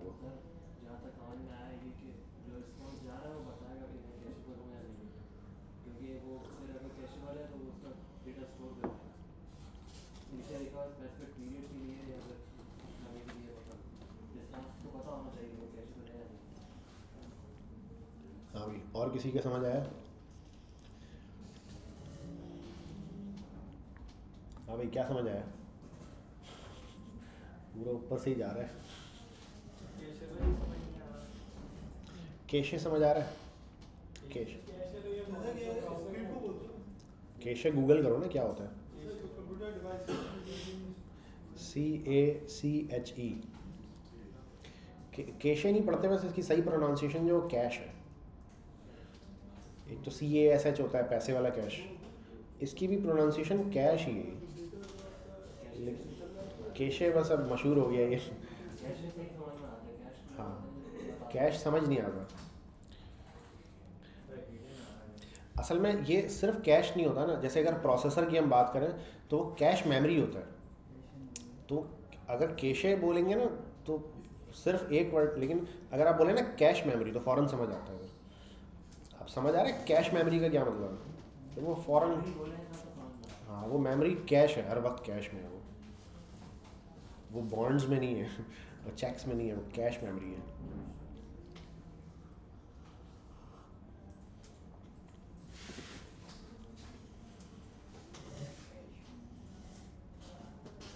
हाँ भाई कैश पता चला क्या चीज़ होती है? कैश है ठीक है। कैश वो चीज़ होती है। देखो जैसे तुमने ज़िक्र किया ना कि प्रोसेसर में होता है ये कैश तो प्रोसेसर में एक्चुअली क्या होता है कि कोई भी डेटा जब प्रोसेस करना होता है तो उसको प्रोसेसर में लाना पड़ता है उठा के नहीं, लाना पड़ता। प्रोसेसर स्टोर तो नहीं करता ना कुछ अपने पास। प्रोसेसर में कोई दो जीबी का स्टोरेज तो नहीं होती ना। उसको प्रोसेसर में हार्ड ड्राइव में होगा वो डेटा मिसाल के तौर पे एक आपका इमेज है, एक फ़ोटो है, ठीक है? या एक एक एक टेक्स्ट है आपके पास। ठीक है? आपने क्या करना है? उस टेक्स्ट को रिवर्स करना है या उस एरे को आपने रिवर्स करना है तो वो एरे स्टोर कहाँ है आपके? मोस्ट प्रोबेबली आपके हार्ड ड्राइव में स्टोर होगा, ठीक है? अगर वो एप्लीकेशन बंद है तो। अच्छा जैसे ही एप्लीकेशन ओपन होगी, वो हार्ड ड्राइव से उठ के कहाँ आ जाएगा? रैम में आ जाएगा। अच्छा अब वो रैम में आ गया ना, अब रैम से उसको कहाँ लेके जाना है? प्रोसेस करवाने के लिए प्रोसेसर में लेके जाना है। अब प्रोसेसर में वो जाएगा और वहाँ से फिर वापस वो रैम में आएगा। और जब एप्लीकेशन क्लोज होगी तो वापस हार्ड ड्राइव में चला जाएगा। तो रैम से उठा के प्रोसेसर में लाने के लिए आप अगर ये मदरबोर्ड पे भी गौर करें ना तो रैम और प्रोसेसर ना हमेशा साथ साथ होते हैं। आप अगर मैं यहाँ पे लिखूँ ना मदरबोर्ड आप देखेंगे रैम और प्रोसेसर बिल्कुल साथ साथ होंगे हमेशा। दूर नहीं हो, ऐसा नहीं होगा कि इस कोने पे रैम है, उस कोने पे प्रोसेसर है ना, ऐसा कभी भी नहीं होगा। ये देख रहे हो? ये रैम की स्लॉट्स हैं, साथ ही प्रोसेसर है। ठीक है? किसी दूसरे में मैं देख लूँ, अगर ये बहुत ही पुराना कोई पेंटीएम वेंटीएम के ज़माने का, ये रैम है, ये प्रोसेसर है, बिल्कुल साथ है। अच्छा ये थोड़ा सा ऑफसेट इसलिए छोड़ते हैं कि सम टाइम हीट सिंग आपकी बड़ी हो ना तो वो फिट हो जाए, वरना ये ऑफसेट भी ये ना छोड़ें। ठीक है? जैसे ये देखो, बड़ा सा है ना तो इसमें देखो, चारों साइड पे एक इवन स्पेस छोड़ा हुआ है इन्होंने। वो असल में इसलिए छोड़ा है कि बड़ी हीट सिंग लगाने में प्रॉब्लम ना आए। ठीक है? वरना ये स्पेस भी वो नहीं छोड़ते। तो ये देख रहे हो? ये वो पुराना पेंटियम के ज़माने का ये प्रोसेसर है, चारों साइड इवन स्पेस है और इधर रैम लगी हुई है। तो रैम से उठा के ना प्रोसेसर में लाना पड़ता है डेटा को, जो कि, जो उसकी स्पीड होती है ना रैम से उठ के प्रोसेसर में आने की जो स्पीड होती है, उसको कहते हैं बस स्पीड हर हर मदरबोर्ड की अपनी बस स्पीड होती है। तो वो बस स्पीड ऐसे डिसाइड होती है कि तो कितनी दूर है, किस तार से वो ट्रैवल करके आ रहा है क्या वो कॉपर की तार है, क्या वो सिल्वर की तार है, या वो गोल्ड की तार है? तो वो ट्रैवल करके आ रहा है। तो वो कितनी स्पीड से आएगा, इधर पहुंचेगा, फिर प्रोसेस होगा, फिर वापस जाएगा। तो हमेशा प्रोसेसिंग पावर के साथ साथ बस स्पीड भी एक फैक्टर होता है कि अगर बस स्पीड कम है ना तो आप समझ लें पानी का पाइप पतला है। मोटर जितनी बड़ी लगा दें आप, उससे ज़्यादा पानी आएगा ही नहीं कभी भी। ठीक है? तो बस स्पीड भी एक फैक्टर होता है साथ साथ हमेशा। तो इस चीज़ को ओवरकम करने के लिए कि भाई बस स्पीड और इसके दरमियान में एक उन्होंने क्या कर दिया? एक छोटा सा रैम और लगा दिया। ठीक है? Cache memory. और ये cache memory just like a RAM होती है और वो कहाँ होती है? प्रोसेसर के अंदर होती है। ठीक है? अब इससे होता क्या है? इससे होता ये है कि अगर कैश मेमोरी को हम बिल्कुल माइनस, कैश मेमोरी वैसे बिल्कुल माइनस हो भी नहीं सकती। सही है? प्रोसेसर में शुरू से कैश मेमोरी थोड़ी बहुत रही है। अब कैश मेमोरी ज़्यादा करने से ये होता है कि छः एम बी सात एम बी बारह एम बी कैश मेमोरी लगाते हैं। तो रैम से जो है ना, जो चीज़ उठा के इधर लानी होती है, वो ला के ना इधर इस कैश मेमोरी में स्टोर कर देते हैं। और आप समझ जाए वो एक कतार है कि अब ये चीज़ें जाएँगी प्रोसेसर के अंदर। तो वो ला ला के पहले ही लाइन में लगा देते हैं उसको। तो उससे ये होता है कि जब एक प्रोसेस ख़त्म होता है ना जब तो दूसरा प्रोसेस जो है, वहीं खड़ा हुआ होता है कैश में। उसको ट्रैवल करके नहीं आना पड़ता बस बस के थ्रू ना। वो वहीं पे फ़ौरन खड़ा हुआ होता है, उसको फ़ौरन प्रोसेस करता है। तो this is what we call cache in processors अच्छा वैसे जो कैशे या कैश जो कहते हैं, वो किसी चीज़ को स्टोर कर लेने को कहते हैं। ठीक है? मोर और लेस कॉन्सेप्ट जो है वो सेम है। वेब ब्राउज़र के अंदर क्या होता है कि आप अगर कोई वेबसाइट पहली दफ़ा खोलते हैं, ठीक है? अगर मैं मिसाल के तौर पे यहाँ पे एप्पल डॉट कॉम की वेबसाइट खोलता हूँ तो ये देखो फ़ौरन खुली है वेबसाइट ठक करके खुली है ना? ठीक है? स्क्रॉल करता हूँ मैं। ये देखो ये इमेजेस फ़ौरन मेरे पास आई हुई हैं।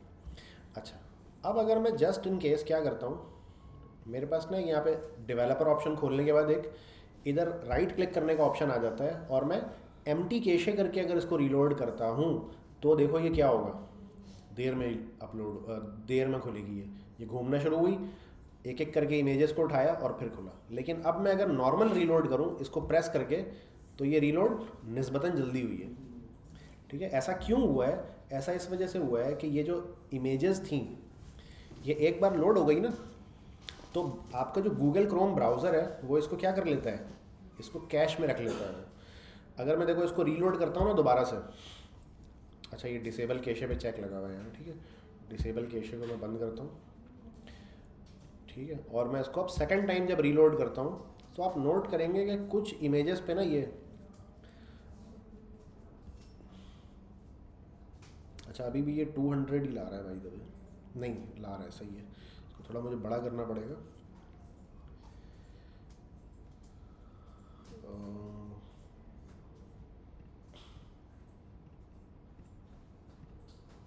जैसे ये वाली इमेज है।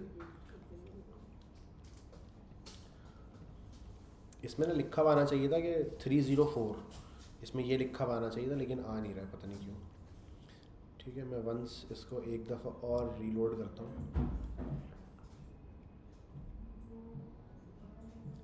इसमें थ्री ज़ीरो फोर लिखा हुआ आना चाहिए था कि इस इमेज को केशे से लेकर आया है ये।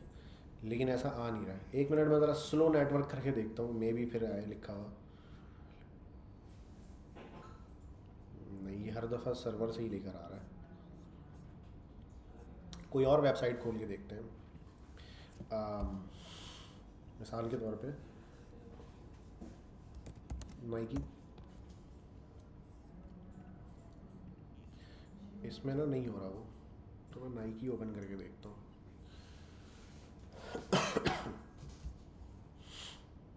अब वो पता नहीं कोई, पता नहीं क्या टेक्नोलॉजी यूज़ कर रहे हैं। वो लिखा हुआ टू हंड्रेड आ रहा है, लेकिन फील हो रहा है कि केशे से आई है ये, लेकिन लिखा हुआ नहीं आ रहा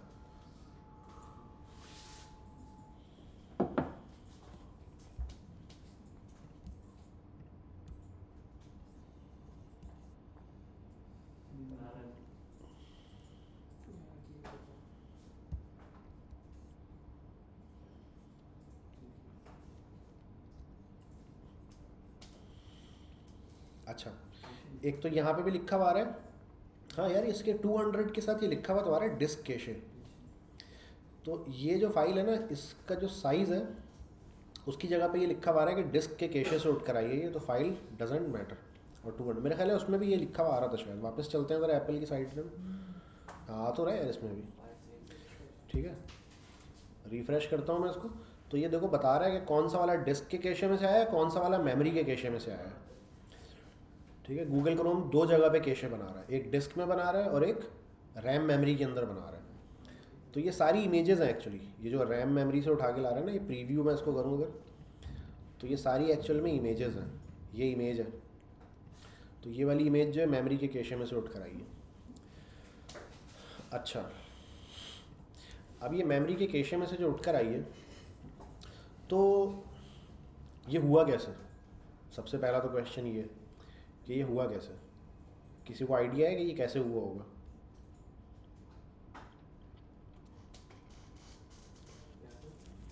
ये कैसे, इसने कैसे केशे में चली गई है? नहीं मतलब वो केशे कैसे कर लिया उसको? गूगल क्रोम को ये कैसे पता चला कि केशे करना है?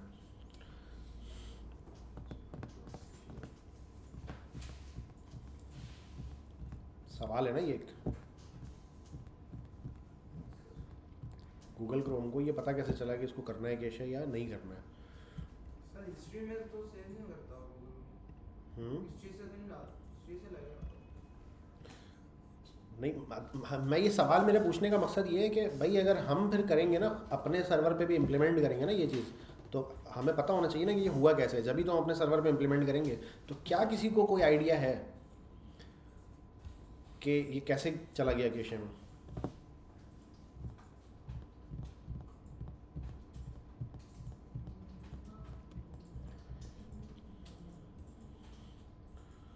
बताओ।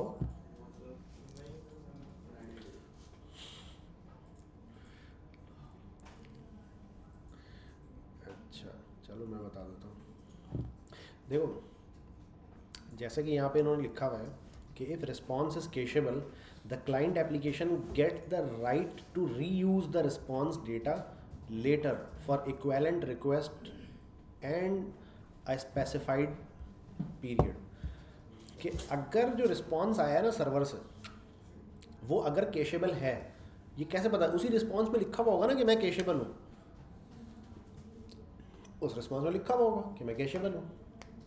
तो अगर वो कैशेबल होगा रिस्पॉन्स तो ब्राउज़र यानी कि फ्रंट एंड उसको रीयूज़ कर सकता है, उसको सेव कर सकता है for a period of time उसको दोबारा से वो सर्वर पे ना पहुँचाए, इधर ही से, इधर ही से घुमाता रहे सर्वर पे ना जाए। बावजूद इसके कि सर्वर पे वो चेंज भी हो जाएगा तो वो सर्वर पे फॉर द टाइम बिंग वो सर्वर पे ना जाए। चौबीस घंटे या दो घंटे या पाँच घंटे सर्वर पे दोबारा ना जाए। यही वजह है कि आप कोई वेबसाइट अगर एक महीने बाद खोलते हैं तो वो फिर सर्वर से सब उठा के लाता है, क्योंकि वो केशे का जो एक्सपायरी है वो हो चुका होता है। कि भाई एक महीने का केशे था तो वो हो चुका है। एक महीने बाई नहीं रखते, चौबीस घंटे रखते हैं। तो इसको केशेबल बनाने के लिए ना हमें मोस्ट ऑफ़ द टाइम हमें कुछ नहीं करना होता। हमें क्यों नहीं कुछ करना होता? दो फैक्टर है उसके। नंबर एक फैक्टर हम जब इमेजेस भेज रहे होते हैं सर्वर से अपने, जैसे अभी पूरा का पूरा एच पेज है, वो पूरा कैशे में हो जाता है। तो वो हम किसके ज़रिए भेज रहे हैं? एक्सप्रेस डॉट स्टेटिक तो एक्सप्रेस का जो फ्रेमवर्क है, उसने ये चीज़ें डील की हुई हैं पहले से। एक्सप्रेस से जो पेज उठकर आएगा फ्रंट एंड का, वो उसमें सब लिखा हुआ होगा, उन्होंने पहले से ये हैंडल किया हुआ है। दूसरा तरीका ये होता है कि रिस्पॉन्स डॉट सेंड फ़ाइल कर रहे होते हैं। ठीक है, यहाँ से रिस्पॉन्स डॉट सेंड जो किया हुआ है ना मैंने ये response dot status response dot send तो ये मैं सेंड जो कर रहा हूँ, ये जेसन है ना, ये केशेबल नहीं होता। जेसन आमतौर पे केशेबल नहीं होता। तो इसने उसको हैंडल किया हुआ कि नहीं यार, ये केशेबल नहीं है। जब जब बंदा बटन दबाएगा तो ये जेसन जो है वो उसी वक्त चल रहा होगा या जो भी हो रहा होगा। ठीक है? इसकी डिफरेंट स्ट्रैटेजीज भी होती हैं। इसके लिए एक फ्रेमवर्क है। फ्रेमवर्क तो नहीं, एक टूल है उसको रेडीज कहते हैं। वो लोग यूज़ करते हैं, वो हम इसमें कवर नहीं कर रहे फ़िलहाल, क्योंकि वो एडवांस टॉपिक है सर्वर का, बहुत लंबी हो जाएगी इसमें। तो आप उसको अलग से एक्सप्लोर कर सकते हैं कि वो केशे सिस्टम कैसे चल रहा होता है। तो वो इस जेसन को भी स्टोर कर लेता है, उसमें स्ट्रेटजीज बना सकते हैं ठीक है? लेकिन प्लेन भी अगर आप यूज़ कर रहे हैं जस्ट एक्सप्रेस का सर्वर है तो उसमें भी बहुत चीज़ें एक्सप्रेस ने हैंडल की भी आपको कुछ करने की ज़रूरत नहीं है। मिसाल के तौर पे, यहाँ से आप इमेजेस जितनी भी भेजेंगे ना, इस सर्वर से उठा के, वो बाई डिफ़ॉल्ट एक्सप्रेस उसको केशेबल फॉर्म में रखता है। ठीक है? अगर आपने केशेबल हटाना हो तो उसके लिए आपको एक्स्ट्रा बात लिखनी पड़ती है कि भाई इसको केशे में नहीं डालना। लेकिन आमतौर पर इसकी ज़रूरत नहीं पड़ती। इमेजेस ज़्यादा केशे होती हैं। वैन उसके अलावा गूगल क्रोम जो है, ये तो सर्वर से जो आप कोड लिख रहे हैं, वहाँ की बात हो गई कि वहाँ फ्रेमवर्क ने हैंडल किया हुआ है। जब ब्राउज़र में कोई भी इमेज आती है ना, और उसमें नहीं भी लिखा हुआ होगा कि कैशे करना है तो ब्राउज़र उसको फिर भी कैशे कर लेता है। सही है? ब्राउज़र क्योंकि स्मार्ट है ब्राउज़र अगर आपने दो बार रीलोड किया और वो इमेज चेंज नहीं हुई तो ब्राउज़र स्मार्टली भी बहुत सारी चीज़ें कर रहा होता है, जो स्टैंडर्ड में नहीं भी है, लेकिन वो कर रहा है। ठीक है, अपने यूज़र के एक्सपीरियंस को बेहतर बनाने के लिए वो कर रहा है, उसको कैशे खुद से कर रहा है। मे बी वो ये करता हो कि पहले कैशे में से उठा के दिखा देता हूँ, फिर बाद में आराम से सर्वर से जाके चेक कर लेता हूँ कि भाई वही है या क्या है। तो आपको ना ये कैशेबल वाली चीज़ के लिए मोस्ट ऑफ़ द टाइम ये होता है कि आपको खुद कुछ नहीं करना पड़ता है। ये कैशेबल जो फ्रेमवर्क्स हैं, जो रेस्ट एपीआई बनाने के लिए क्लेम करते हैं कि आप रेस्ट एपीआई बनाओ। जैसे अगर आप एक्सप्रेस के फ्रेमवर्क पे जाए ना एक्सप्रेस जे एस मैंने लिखा। तो अब इनका टैग लाइन देखिएगा ये क्या लिखा हुआ है इन्होंने।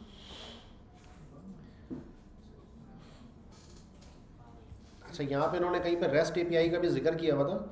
वो भी मुझे सर ये इमेज कैसे हाँ? सर इमेज कैसे भेजते हैं? मतलब इमेज को सर्वर से इमेज आप करते हैं सेंड फ़ाइल यहाँ पे आप आके लिखेंगे ना सेंड फ़ाइल और आप एंटर करेंगे। तो ये आपके पास आ गई है। रिस्पॉन्स डॉट सेंड फ़ाइल ठीक है? 4.8 के बाद वाले पे ये चलता है, उससे पहले वाले पे नहीं चलता। ठीक है? और इसकी ये पूरी नीचे एग्जांपल्स हैं कि इस तरह करके आप इसको भेज रहे होते हैं। ठीक हो गया? समझ आ गया?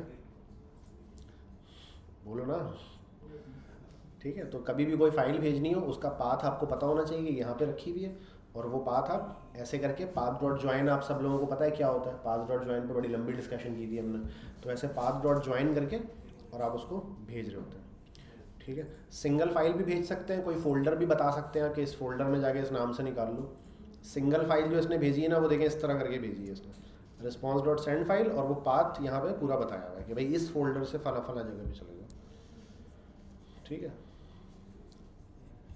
सर स्टेटस वगैरह जो लिख रहे हैं उसमें इस तरीके से लिखना स्टेटस तो एचटीटीपी स्टेटस होता है ना। एचटीटीपी स्टेटस हमने डिस्कस किया था लास्ट जब हम क्रड ऑपरेशन कर रहे थे तो कि 400 की सीरीज़ क्या करती है 500 की सीरीज़ क्या करती है। बताओ ज़रा 500 क्या करता है।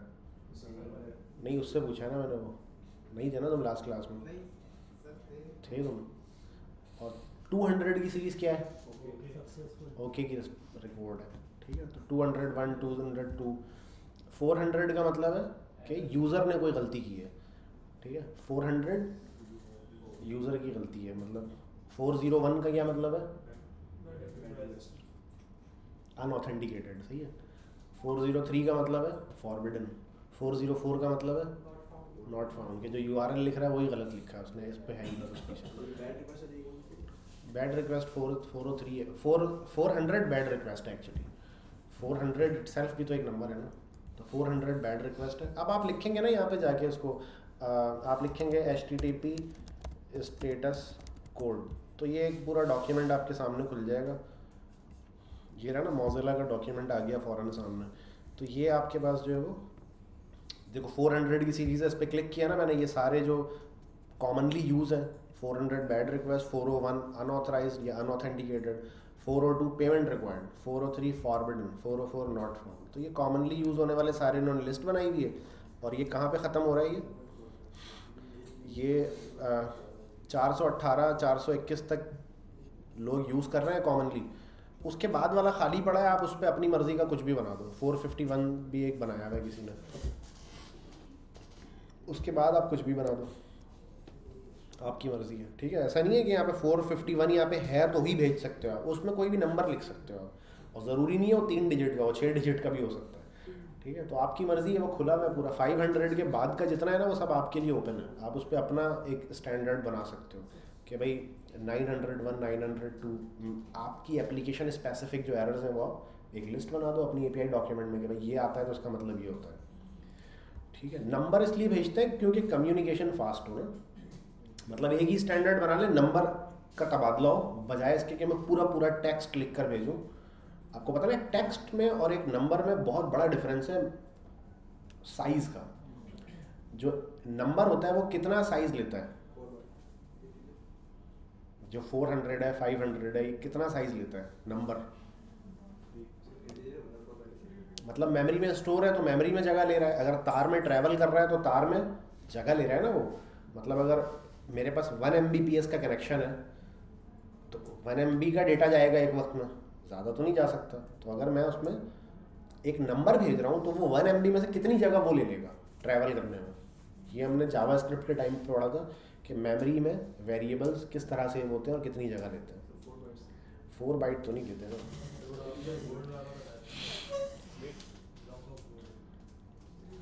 फोर बाइट कैसे लेते हैं? बताओ अगर। इंटीजर जो है फोर बाइट लेता है। इंटीजर तो है ही नहीं। जावा स्क्रिप्ट में इंटीजर पढ़ा ही नहीं हमने।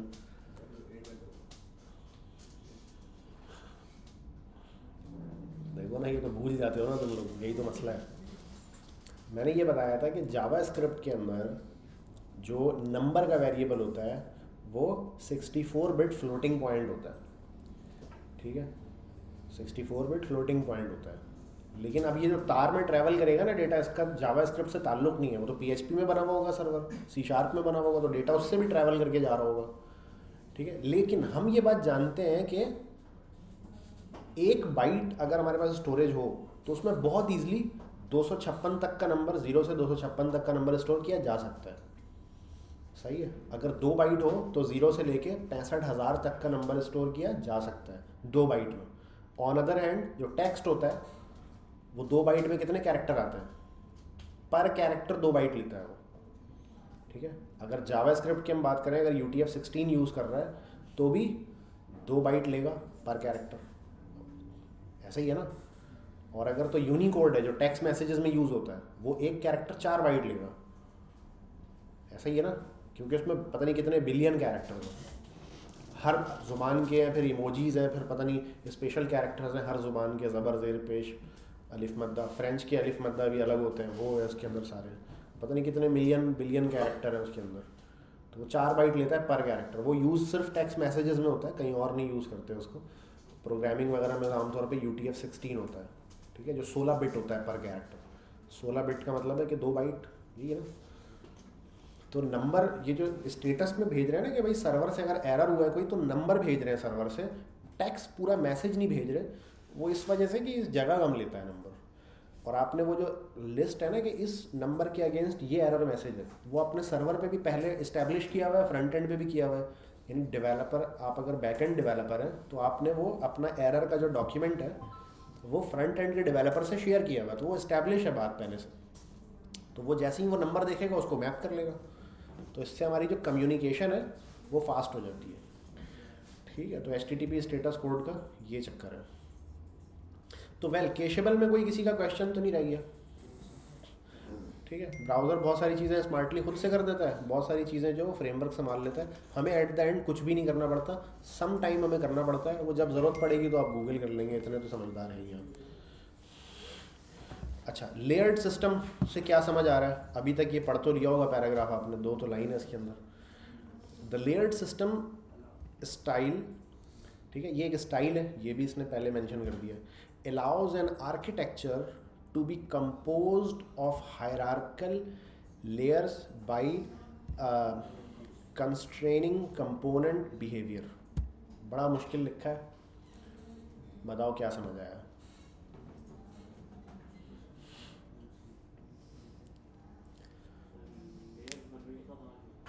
लेयर बन रही है तो समझ आ रहा है। हायरार्की भी बन रही है भी समझ आ रहा है।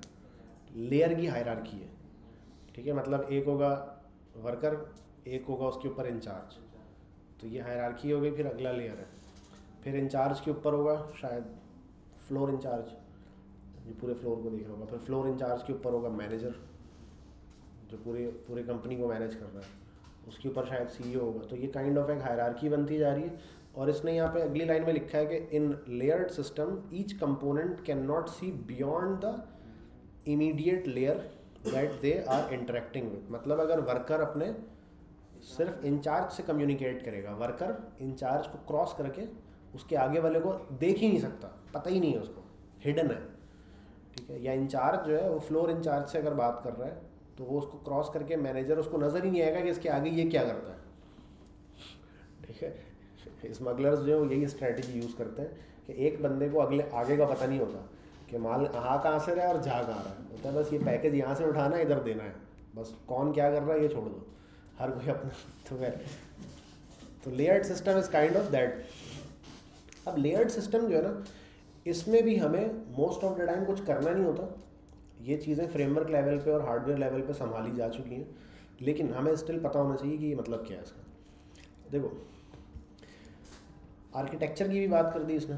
तो पहली बात तो ये कि आप, का जो लेयर्ड सिस्टम है ना, वो एक तो कॉम्प्लेक्सिटी को हाइड करता है ब्लैक बॉक्सिंग जिसको हम कहते हैं। मिसाल के तौर पे अगर आप वेदर की एपीआई कॉल कर रहे हैं, आप सब लोगों ने की है वेदर की एपीआई कॉल तो जब वेदर की एपीआई कॉल करते हैं आप या न्यूज़ की एपीआई कॉल करते हैं तो वो न्यूज़ कहाँ से लेकर आ रहा है आपको नहीं पता होती। सर्वर एक सर्वर कॉल कर रहे हैं आप पीछे वो क्या कर रहे हैं आपको नहीं पता। आप जस्ट उसको एक यूआरएल हिट करते हैं और सिटी का नाम देते हैं, आपको सामने से वो डेटा देता है। डेटा कौन सा देता है? अकॉर्डिंग टू द डॉक्यूमेंट्स जो उन्होंने बोला है कि ऐसा रिस्पॉन्स मिलेगा, वैसा ही मिलता है। हर दफ़ा। एरर का मैसेज भी वैसा ही मिलता है और सक्सेस का मैसेज भी वैसा ही मिलता है। तो आपको नहीं पता कि इसके पीछे क्या है। तो this is called a layer of layer of privacy कह लो इसको या लेयर ऑफ़ आप इन्होंने क्या बड़ा अच्छा यूज़ किया वर्ड के नहीं इन्होंने कोई वर्ड यूज़ नहीं किया इसके लिए। तो एक आ, एक लेवल ऑफ़ इसको आप कह लो कि अभी कोई बेस्ट वर्ड मेरे जहन में नहीं आ रहा इसके लिए हम क्या यूज़ करेंगे? तो वेल ये एक लेयर लेयर बन गई है। तो लेयर की एक फॉर्म तो ये है कि भाई एक लेयर को अगली लेयर के पीछे क्या हो रहा है वो नहीं पता हो। मिसाल के तौर पे आप इमेजिन करें कि आप किसी शॉप पे जाते हैं और आप पैसे देते हैं और सामने से वो आपको सामान दे देता है। आपको अंदर बंदा नज़र नहीं आ रहा। आपको अंदर बंदा नज़र नहीं आ रहा, आपको ये नहीं पता कि वो कहाँ से ला के दे रहा है। बिल्कुल हिडन है। जैसे एटीएम मशीन की मिसाल लो। आप एटीएम मशीन में कार्ड डालते हो और कुछ कहते हो, पैसे आ जाते हैं। उसके अंदर वो पैसे को कैसे निकाल रही है, कैसे आपके कार्ड को वेरीफाई कर रही है, आपको नहीं पता होता कुछ। तो ये काइंड ऑफ़ एक लेयर्ड सिस्टम है। तो ये बात समझ आ गई। एक एस्पेक्ट तो ये है इसका लेयर्ड सिस्टम का। दूसरा एस्पेक्ट ये है, मैं समझता हूँ कि जब क्लाइंट से रिक्वेस्ट निकलेगी और निकल के सर्वर पे जाएगी तो वो कैसे पहुँचेगी? तारों के ज़रिए। तारों के ज़रिए कैसे पहुँचेगी?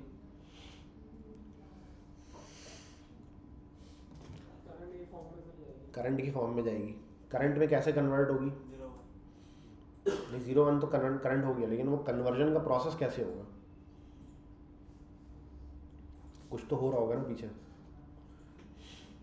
जब मैं कहता हूँ कि एक्जियोस डॉट गेट और वो बात लिख देता हूँ तो वो एक्जियोस डॉट गेट में मैंने जो भी बात लिखी है, वो ज़ीरो वन में कन्वर्ट होती है। ये कैसे होती है?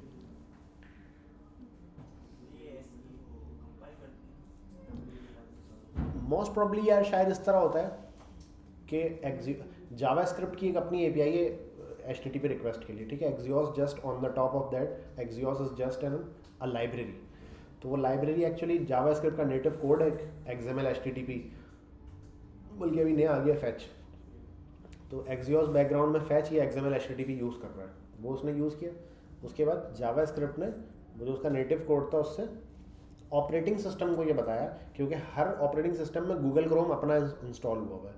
मैक में जो गूगल क्रोम है, वो लिनक्स वाले से अलग है। ये मैक का गूगल क्रोम है। अंदर फंक्शनैलिटी सेम है डिट्टो सेम है। लेकिन एक्चुअल में इसका बाइनरी अलग है। इसका सोर्स कोड बिल्कुल अलग है, मैक वाले का और लिनक्स वाले का। तो इस गूगल क्रोम को वो मिला जावा स्क्रिप्ट ने इस गूगल क्रोम को बताया कि ये रिक्वेस्ट भेजनी है भाई, फला जगह। तो अब मैक का जो गूगल क्रोम था, उसको ये पता है कि मैक ऑपरेटिंग सिस्टम में इंटरनेट की रिक्वेस्ट कैसे भेजी जाती है? और लिनक्स अगर है केस में तो लिनक्स को जब जावा स्क्रिप्ट वो देगा ना लिनक्स वाले क्रोम को तो लिनक्स वाला क्रोम जो है वो क्या करेगा? लिनक्स में कैसे रिक्वेस्ट को निकाला जाता है? इंटरनेट के थ्रू बाहर, वो उसको पता है। अच्छा अब क्या हुआ? भाई गूगल क्रोम ने ऑपरेटिंग सिस्टम को ये बात दी आगे। ऑपरेटिंग सिस्टम का ये काम है कि वो इस रिक्वेस्ट को लेगा उसकी जो भी फॉर्मेट है, जो भी है उसका, उसको नेटवर्क कार्ड तक पहुंचाएगा। जो, वो हार्डवेयर जो नेटवर्क के मसले को देख रहा है, वहाँ तक पहुंचाएगा। ठीक है, अगर आपने किसी डेस्कटॉप मशीन यूज़ की हो तो उसमें आप देखते हैं कार्ड अलग से भी लगा हुआ होता था, जिसको हम मॉडर्न कहते थे पहले ज़माने में। अब तो वो अलग से नहीं होता बिल्टन होता है। तो वो उस हिस्से तक पहुँचा देगा जो नेटवर्क के रिक्वेस्ट को देख रहा है। वो हिस्सा क्या करेगा? सात लेयर्स हैं O C I layers T C P उनमें से कितना यूज़ करता है? मतलब जो तारों के ज़रिए बाहर निकालना है, वो टीसीपी है हमारे केस में मोस्ट ऑफ़ द टाइम ठीक है, कुछ केसेस में अलग भी हो सकता है, लेकिन वो वो ऑपरेटिंग सिस्टम का मसला है. ठीक है, मिसाल के तौर पे किसी में डायरेक्ट फाइबर पे निकालना है, या किसी में डायरेक्ट कोई डायलअप कनेक्शन है मे बी या कोई और दूसरा टीसीपी के अलावा और भी बहुत सारे कनेक्शंस हो सकते हैं. तो वो वो हार्डवेयर देख लेगा कि क्या करना है। अच्छा उस हार्डवेयर के साथ एक सॉफ्टवेयर जो उसका ड्राइवर है मेन ऑपरेटिंग सिस्टम से उसका ताल्लुक नहीं वो उधर इंस्टॉल है। उस तक पहुंचाएगा उसको? वो ओसीआई लेयर की जो तीन चार लेयर है जो ये यूज़ करता है, उसको परफॉर्म करेगा और वो परफॉर्म करने के बाद इसको अल्टीमेटली ज़ीरो और वन में कन्वर्ट कर देगा। अब ज़ीरो और वन में जैसे ही कन्वर्ट होगी अब ये ट्रैवल शुरू हुआ इसका तारों के ज़रिए। अब ये डिफरेंट नॉर्ड्स में से होता हुआ अपनी डेस्टिनेशन पे पहुँचा। और डेस्टिनेशन पे पहुँचने के बाद ये क्या होगा? अब ये प्रोसेस रिवर्स होगा। पहले उस नेटवर्क के कार्ड को ज़ीरो और वन की फॉर्म पे रिसीव होगा कुछ सिग्नल उसको वो ओसीआई लेयर को रिवर्स चलाएगा, वो वापस एक्चुअल डेटा में कन्वर्ट होगा। नेटवर्क कार्ड वो डेटा ऑपरेटिंग सिस्टम को देगा और ऑपरेटिंग सिस्टम उस रिक्वेस्ट को देखेगा कि ये किस पोर्ट पे रिक्वेस्ट आई हुई है, उस एप्लीकेशन तक पहुंचाएगा। यानी कि नॉट जे की कोई एप्लीकेशन चल रही होगी। या कोई सी शार्प की ऐप चल रही होगी, या कोई पाइथन की ऐप चल रही होगी, जो सर्वर है, वहाँ तक पहुँचाएगा। सर्वर को बॉडी बॉडी पार्स करके देगा। सर्वर को क्या मिला? जैसा जेसन फ्रंट एंड से भेजा किया था, वैसा ही सर्वर को मिला।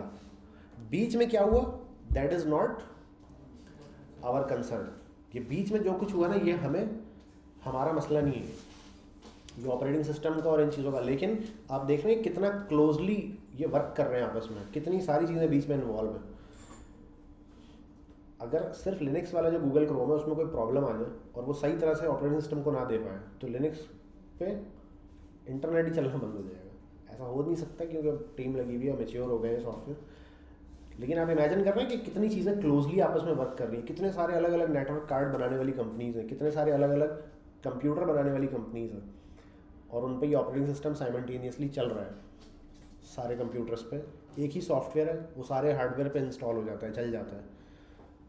तो अब ये जो सिस्टम है ना, ये भी लेयर्ड सिस्टम की क्लासिक एग्जांपल है कि एक लेयर को अगले लेयर से ना कंसर्न नहीं होता। हर लेयर अपना अपना काम करती है। आगे वाली लेयर क्या कर रही है, उसने बस उसको इनपुट देना है, जो उसका इनपुट बताया गया है अच्छा यार ऐसा वाला इनपुट उसको बना के दे देना है, ठीक है? तो मिसाल के तौर पे हमारा जो कंसर्न है वो कहाँ तक है? वो जावा स्क्रिप्ट की हद तक है। दैट्स इट जावा स्क्रिप्ट से जैसे ही वो रिक्वेस्ट निकल के गूगल क्रोम तक पहुँच जाती है, हमारा मसला ख़त्म। ठीक है? और हमारे केस में तो हमारा लाइब्रेरी तक है एक्जियोस डॉट गेट हमने एक्जियोस डॉट गेट लिखा, उसमें यूआरएल लिखा। ये हमें बताया गया था कि ये इसका इनपुट है। किसका? एक्जियोस डॉट गेट का। इनपुट है कि एक यूआरएल चाहिए उसको। या एक्जियोस डॉट पोस्ट का इनपुट है कि यूआरएल चाहिए, साथ में बॉडी चाहिए। हमें ये बताया गया कि ये इनपुट है। हमने ये इनपुट दे के वो एपीआई रिक्वेस्ट चला दी कॉल कर दी। वहाँ से रिक्वेस्ट निकल के गूगल क्रोम तक जब जाएगी ना तो वहाँ से हमारा कंसर्न ख़त्म हो गया। अब हम इस रिक्वेस्ट से कहाँ मिलेंगे? हम कहेंगे, चलो, आ जाओ, फिर सर्वर पे मुलाकात होगी आपसे, वापस। ठीक है? सर्वर पे जब पहुँचेंगे हम तो हमें वो रिक्वेस्ट कहाँ से पकड़ में आएगी? जब वो मेरे जावा स्क्रिप्ट को मिलेगी ना, वो रिक्वेस्ट वापस, वहाँ से हमारा दोबारा मुलाकात होगी हमारी। रिस्पॉ हम क्या करेंगे? App dot use request dot JSON यही करते हैं ना एक्सप्रेस डॉट जेसन कि जो बॉडी को पार्स करते हैं। वहाँ से हमारी दोबारा मुलाकात होगी। बीच में क्या हो रहा है वो हमारा कंसर्न नहीं है। ठीक है? तो ये भी एक लेयर्ड सिस्टम है कि मैंने यहाँ से निकाल दी ना जावा स्क्रिप्ट से रिक्वेस्ट तो उधर पहुँचे, नहीं पहुँचे, वो मेरा मसला नहीं है। मैंने अपने लेयर वाला काम कर दिया। तो ये भी काइंड ऑफ़ इसके अंदर आ जाता है। ठीक है? लेकिन इसका रेस्ट एपीआई से ताल्लुक नहीं है, ये तो इन जनरल वैसे ही चल रहा है। ठीक है? इन जनरल चल रहा है। लेकिन इमेजिन करें आप कि कोई ऐसा इंटरनेट है जिसमें मैं ये टीसीपी वगैरह ये सब कुछ भी यूज़ नहीं कर रहा। कुछ मैंने खुद का ही बना लिया। तो उसके थ्रू अगर कोई कम्युनिकेशन हो रही है, बावजूद इसके कि वो भी वेब एपीआई होगी, लेकिन उसको मैं रेस्ट एपीआई नहीं कह सकता। ठीक है? उसको मैं रेस्ट एपीआई नहीं बोल सकता। अगर कोई मैंने खुद का बना लिया जैसे वायरलेस पे जो कम्युनिकेशन हो रही है वोकल कम्युनिकेशन जो होती है, वो साइर रेस्ट एपीआई नहीं है वो। क्योंकि दो वायरलेस डिवाइसेस डायरेक्टली आपस में कनेक्टेड है और उसमें ये सब कुछ भी नहीं हो रहा। कोई लेयर्स नहीं है उसके अंदर। वो मतलब वो डिवाइस ही पूरा सब कुछ कंट्रोल कर रही है। ठीक है? तो लेयर्ड सिस्टम जो है ना, ये मतलब रेस्ट एपीआई के रिगार्डलेस मैंने आपको लेयर्ड सिस्टम की डेफिनेशन समझाई कि लेयर्ड सिस्टम होता क्या है। कि हर लेयर अपने हिस्से का काम करता है, अगले लेयर तक वो पहुंचाता है चीज़ को। और उसके आगे क्या हो रहा है, उससे उसका लेना देना नहीं है। उसको एक इनपुट मिलेगा, उसने उसको प्रोसेस करना है अपने हिस्से का और उसको आगे कर देना है। दैट्स इट ठीक है? इसी तरीके से जो हमारा सर्वर है ना एक्चुअली हमारा सर्वर भी एक लेयर है। हमें उसमें रिक्वेस्ट मिलती है, हम उसको प्रोसेस करते हैं और वापस भेज देते हैं। यानी रिस्पॉन्स डॉट सेंड अगले लेयर में भेज देते हैं। एक तरफ़ से मिलती है प्रोसेस करते हैं, दूसरी तरफ़ भेज देते हैं। दैट्स इट तो ये लेयर्ड सिस्टम है कि भाई हर बंदा ना अपने हिस्से का काम करेगा, दूसरे का क्या है मसला वो खुद देख लेगा। ठीक है? इससे भी ये ये होता है जैसे क्लाइंट सर्वर को अलग अलग करने से क्या होता है कि दोनों इंडिपेंडेंटली इवॉल्व हो सकते हैं। तो इसमें भी यही होता है कि हर लेयर जो है ना इंडिपेंडेंटली इवॉल्व हो सकती है। मिसाल के तौर पे, अभी एक क्लाइंट था, एक सर्वर था, अभी बीच में ये सारा कुछ है जो मैंने बताया अभी। बीच में मैंने नेटवर्क कार्ड अपडेट कर लिया। आर जे फोर्टी फाइव की तार हट गई है, मेरे पास डायरेक्ट फाइबर की तार लगी हुई है। That is not my concern वो लेयर इंडिपेंडेंटली इवॉल्व होगी अब। ठीक है? अब वो, जब वो इवॉल्व होगी ना तो उसको जो इनपुट मिलता है उसको वैसा ही इनपुट मिलेगा। और उसको जो आउटपुट देना है, वो भी उसको पता है। तो वो अपना इनपुट और आउटपुट को मेंटेन करते हुए अब जैसे मर्ज़ी इवॉल्व हो जाए। ठीक है? मिसाल के तौर पे जो नेटवर्क का जो कार्ड है, वो चेंज हुआ है ना? तो नेटवर्क के कार्ड को ऑपरेटिंग सिस्टम जो देता था पहले ना, अभी भी वही दे रहा है। लेकिन नेटवर्क कार्ड अब उसको क्या कर रहा है? बजाय ज़ीरो वन में कन्वर्ट करने ज़ीरो वन ही हो रहा है, लेकिन वो लाइट की फॉर्म में। बजाय करंट की फॉर्म में होने के, वो लाइट की फॉर्म में। आपको पता ना फाइबर ऑप्टिक केबल में डेटा कैसे ट्रैवल करता है? कोई बता सकता है कैसे करता है तो इसमें फाइबर लोग फाइबर ऑप्टिक जो केबल है। लाइट बीम कैसे कैसे होता है लाइट बीम? से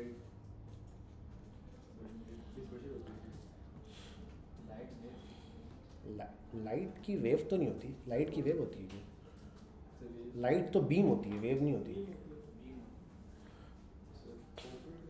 मतलब जैसे पानी है ना, अगर मैं पानी ऐसे यूँ फेंकूँगा ज़मीन पे तो वो वेव की सूरत में आगे बढ़ेगा, लेकिन लाइट में ऐसा नहीं होगा। लाइट तो फोटॉन्स है ना। बीम की सूरत में हो जाएगा। मतलब कभी ऐसे सोचा होगा ना कि यार फाइबर ऑप्टिक की जो केबल है उसमें डेटा चला कैसे जाता है? भाई तार में तो करंट होता है ना कि यहाँ से करंट दिया तो उधर बंदे को करंट लगता है। फाइबर गिलास है गिलास होती है सही है वो पैकेट हो जाता है तो उसमें निकल जाता होगा या फिर मतलब पास और होता सो स्पीड ऑफ़ लाइट देते हैं और स्पीड स्पीड ऑफ़ लाइट चलता है सही है। नहीं पैकेट तो उसमें भी जा रहा है इसमें भी जा रहा है। और है भी इसमें भी ज़ीरो ही वन लेकिन लाइट की फॉर्म में इधर से उधर कैसे चले? मतलब मिसाल के तौर पे मैं एक फाइबर ऑप्टिक की केबल बिछाऊँ यहाँ से शायद दो किलोमीटर आगे तक। तो अब वो केबल बीच में टर्न भी हो रही है सब कुछ हो रहा है। हाँ? प्रिज्म लगे हुआ है। उससे क्या होगा? उससे स्ट्राइक करके आगे की उसकी उससे स्ट्राइक करके सीधी हो जाती सर जितनी क्वांटिटी चाहिए उतनी क्वांटिटी उसको मिलेगी। नहीं सर याद आ रहा है में एक छोटा सा कुछ वो लगाते हैं। नहीं वो तो बूस्ट करने के लिए लगाते हैं ना। चलो जितने पे बूस्ट की ज़रूरत नहीं है उतने तक कैसे चला जा रहा है? मतलब सौ मीटर पे कैसे चला जा रहा है? तो करते हैं लाइट ऑन ऑफ़ करते हैं। लाइट ऑन ऑफ़ करते हैं। ऑन ऑफ़ करते हैं। सही है तो यहाँ से जो मैं लाइट ऑन ऑफ़ कर रहा हूँ अब वहाँ तक तो लाइट पहुँचेगी सौ मीटर तक sir data router one zero four sir वो गिलास अं- उसके अंदर गिलास के फॉर्म होता है ना तो लाइट ट्रैवल कर जाता है उसमें हाँ भाई। ये ओपिनियन ले रहा हूँ आप लोगों का ज़रूर मैं भी अपना ओपिनियन दूँगा और ज़रूरी नहीं है कि मेरा भी ओपिनियन सही हो। ज़रूरी नहीं लिखते हैं ना how data travels in fibre optic मैं इसलिए लिख रहा हूँ ताकि कोई अच्छा सा अगर हमें वो मिल जाए ना डायग्राम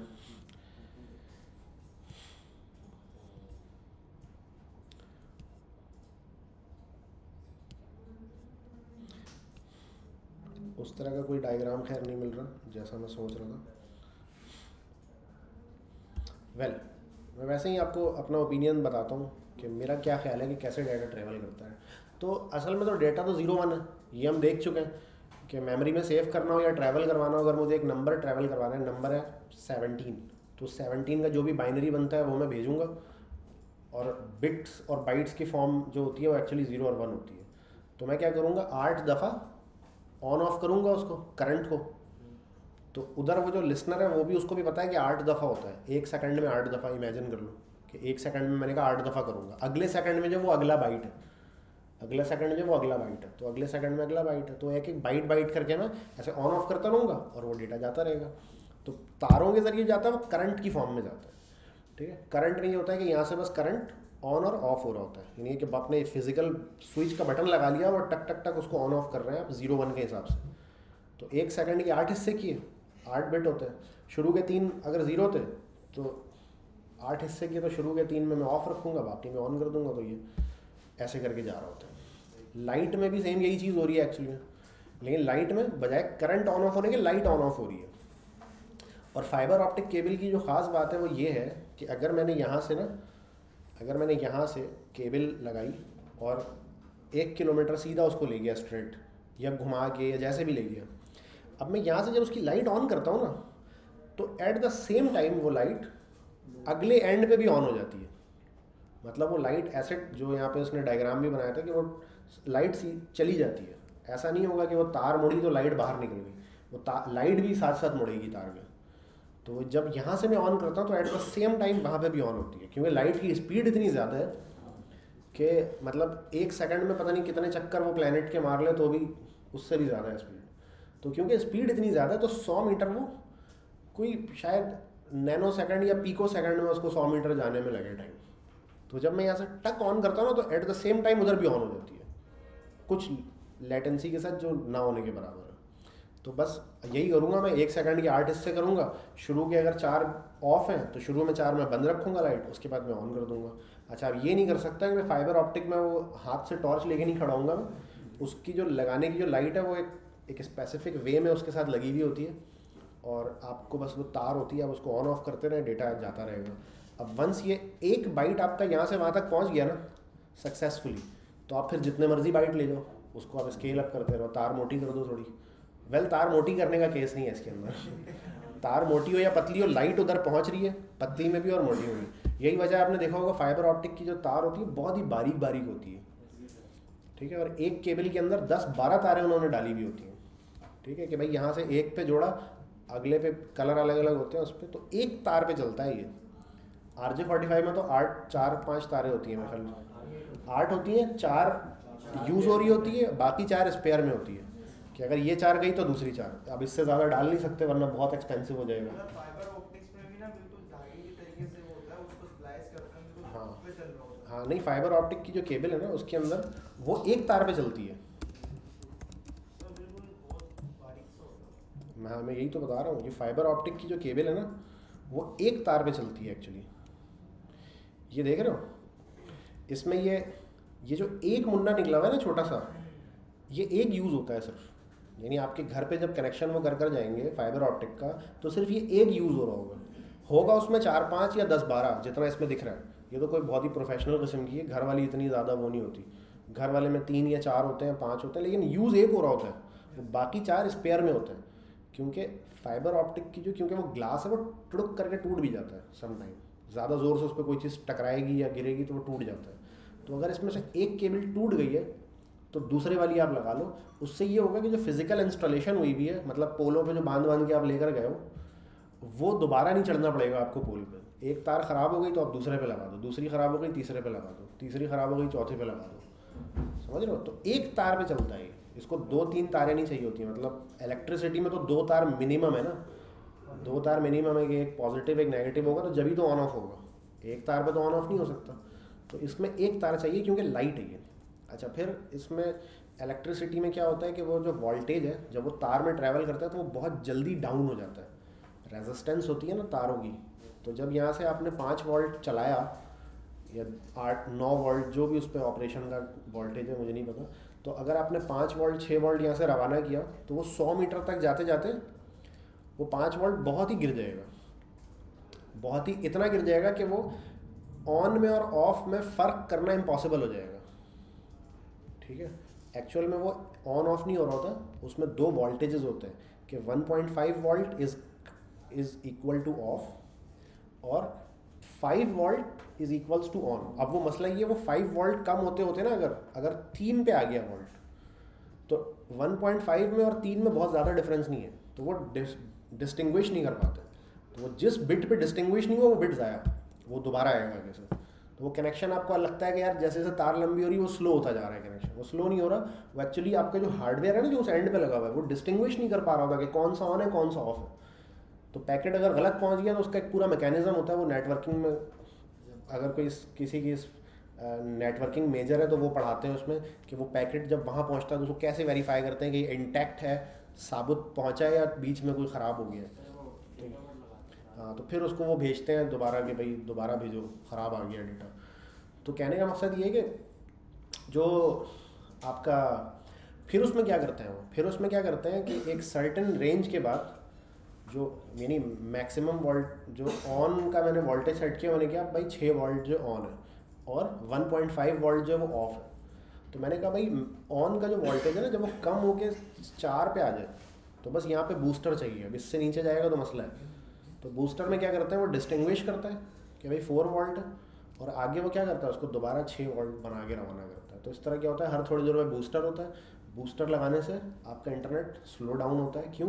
क्योंकि वो एक तरफ़ से देख रहा है कि यार ये बिट अभी जो है वो ऑन है कि ऑफ़ है और उसको देखते हुए वो आगे बिट रवाना कर रहा है। तो वो स्लो डाउन तो करेगा ना क्योंकि वो एक प्रोसेसिंग पावर यूज़ कर रहा है उसको डिस्टिंग्विश करने के लिए। या काइंड ऑफ़ कोई ट्रांजिस्टर कोई रेजिस्टेंस कोई डायोड यूज़ कर रहा है, जो भी कर रहा है वो मतलब कुछ ना कुछ कर रहा है वो।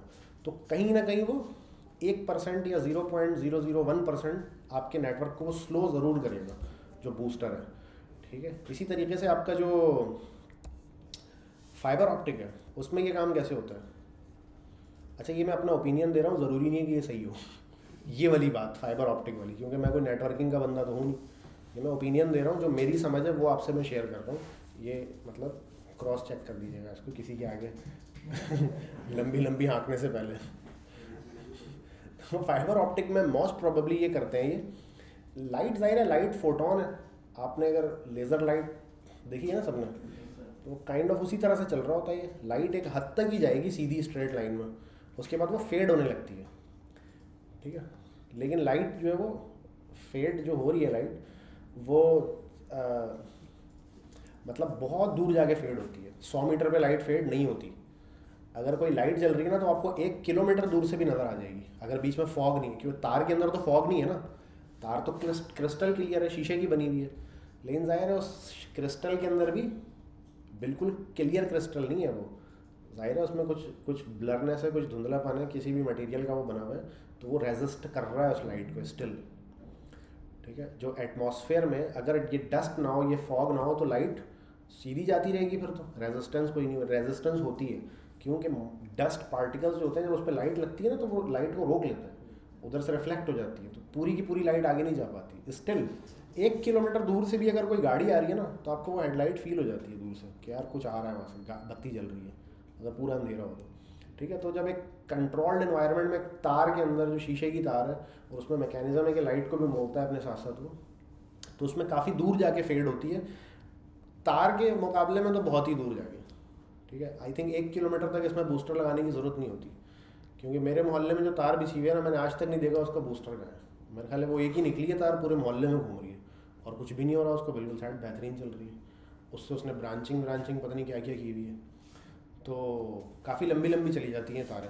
साथ में उसको पावर नहीं चाहिए होता। सबमरीन के अंदर जो इतना लंबा ट्रैवल करवाया हुआ है, अभी फाइबर ऑप्टिक पे अपग्रेड हुए हैं सब। आज से दस साल पहले फाइबर ऑप्टिक थोड़ी था। वो तो पुरानी टेक्नोलॉजी थी। जो तार थी फ़िज़िकल समंदर के अंदर वो तार को जंग लग जाता है। ठीक है? लेकिन फाइबर ऑप्टिक जो है वो, उसको पानी से कोई मसला थोड़ी है।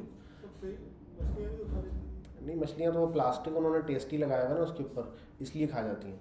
लेकिन वो भी अब जो नई बिछ रही हैं तारें, उसमें इन चीज़ों का ख्याल रखा है उन्होंने। जो पुरानी पता नहीं कोई कंपनी थी, उसने बिछाई थी सारी केबलें। तो बाई मिस्टेक हुआ होगा उनसे भी। वो ऐसा प्लास्टिक लगा दिया जो कोई ख़ास एक फ़िश है, उसका बड़ा फेवरेट है। मतलब वो टेस्ट उसको अच्छा लगता है। तो वो इसलिए इंसिडेंट्स होते थे, मगर वो कम हो गया बहुत। लेकिन वैसे ज़रूरी नहीं है कि वो फ़िश खा ही ले उसको। वैसे भी फ़िश टकरा जाती है, कोई लड़ाई हो रही है आपस में, वो भिड़ गया। देखा है ना, बिल्लों की लड़ाई। छत पे कैसे धड़ धड़ धड़ धड़ लड़ रहे होते हैं बिल्ले। तो वो सम टाइम लड़ाई हो गई आपस में फ़िशों की तो बीच में आपकी तार आ गई तो अभी वो तार थोड़ी देखेंगे। तो ये भी रीज़न होता है, वो तो ज़रूरी नहीं है कि खा रही होगा उसको। तो काइंड ऑफ़ कहीं ना कहीं ये बहुत बेहतर है, और जिस बंदे ने ये फाइबर ऑप्टिक डिस्कवर किया था या ये बताया था कि यार ऐसे भी ट्रैवल हो सकता है। उसको वो नोबेल इनाम मिला था इस चीज़ पर ठीक है? पता है ना उसका नाम? अरे भाई उस बंदे को देख लो आज। अगली क्लास में पढ़ाएँगे प्रोग्रेसिव देखते हैं प्रोग्रेसिव वैसे कोई इतना लंबा चौड़ा टॉपिक भी नहीं है। ये है वो Munna.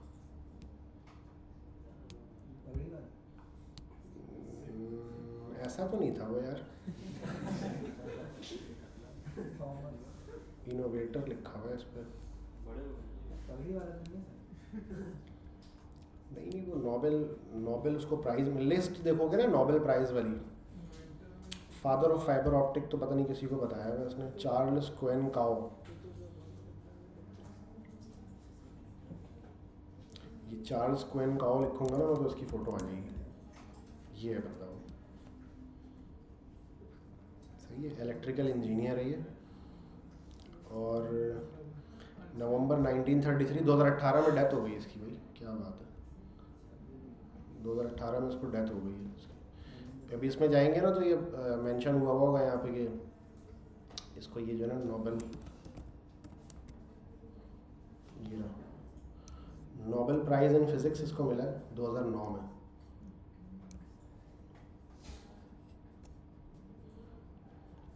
The Nobel prize is the yearly this this this अब ये डिस्क्रिप्शन लिखी हुई होगी ना कि क्यों इसको मिला है नोबल प्राइज वेल का was awarded the two thousand nine Nobel award for ground breaking achievement concerning the transmitting of light and fibre optic communication fibre for optical communication ठीक है, इसको हम ऑप्टिकल कम्युनिकेशन कहते हैं। ठीक है, ये लाइट होती है जिसको फाइबर में ट्रेवल करवा के ऑप्टिकल कम्युनिकेशन हो रही है। ठीक है? फाइबर भी किसी एलिमेंट से बनता होगा। फाइबर काइंड ऑफ़ ग्लास होता है वो लेकिन फ्लेक्सिबल ग्लास होता है। ठीक है? तो इन थ्योरी अगर उस ग्लास के अंदर वो बिल्कुल क्लियर हो ना तो वो लाइट हमेशा फिर सीधी जाती रहेगी। कोई रेजिस्टेंस नहीं होगा फिर। लेकिन ऐसा एक्चुअल में हो नहीं सकता कि रेजिस्टेंस बिल्कुल ना हो। जैसे इलेक्ट्रिसिटी है ना तो गोल्ड जो है उसको माना जाता है कि वो बेस्ट कंडक्टर है सबसे। लेकिन गोल्ड में भी रेजिस्टेंस होती है। ऐसा नहीं है कि गोल्ड में आपने इलेक्ट्रिसिटी डाली तो 10 किलोमीटर जाके भी वो 220 वोल्ट ही है। वो कम होगा स्टिल कुछ ना कुछ फैक्टर्स की वजह से। तो बिल्कुल प्योर भी होगा, फिर भी रेजिस्ट करेगा। ठीक है? तो वो जो बिल्कुल रेजिस्ट नहीं करेगा तो उसमें तो करंट डाला तो वो इनफाइनाइट है उसको आप दस हज़ार किलोमीटर भी नापोगे तो 220 होगा। तो that is called superconductor in the field of physics तो सुपर कंडक्टर अभी तक है नहीं मार्केट में। तो इसी तरीके से ये जो ग्लास के अंदर आप लाइट को ट्रैवल करवा रहे हैं ना तो इन थ्योरी अगर ग्लास में कोई रेजिस्टेंस नहीं है, कोई धुंधलापन नहीं है, कुछ भी नहीं है, बिल्कुल क्रिस्टल क्लियर है तो वो लाइट इनफाइनाइटली सीधा जाती रहेगी। वो रुकेगी नहीं, कोई रेजिस्टेंस ही नहीं है। तो आप उसको दस हज़ार किलोमीटर दूर से भी देखोगे ना यूँ तो आपको लगेगा कि हाँ लाइट है कुछ ना कुछ डिटेक्टेबल लाइट है। लेकिन हम अनफॉर्चुनेटली ऐसा पॉसिबल नहीं है तो उसको हर दो, तीन, चार, पाँच, जो भी इसका रेंज है, उस पर आपको लगाना पड़ता है। वेल तो यहाँ पर आपका ये जो रेस्ट ए के पाँच प्रिंसिपल्स थे, वो कंप्लीट हो गए। शुरू के जो तीन है, वो आपके करने का काम है, ठीक है? आपको इस चीज़ का ख्याल रखना है। और जो लास्ट वाले दो हैं, वो काइंड kind ऑफ़ of पहले से हैंडल किए जा चुके हैं। अच्छा ये अब 1.6 वगैरह जो है ना कोड ऑन डिमांड वगैरह, ये ऑप्शनल है। इसको आप चाहें तो पढ़ सकते हैं। What is the resource resource क्या होता है? डाटा मेटा डाटा हाइपरलिंक अच्छा आर्टिकल है ये, अगर पूरा आप पढ़ लें इसको तो काफ़ी अच्छा है आपके लिए। सही है, इसको हम अब टॉपिक को यहाँ पे रोक देते हैं।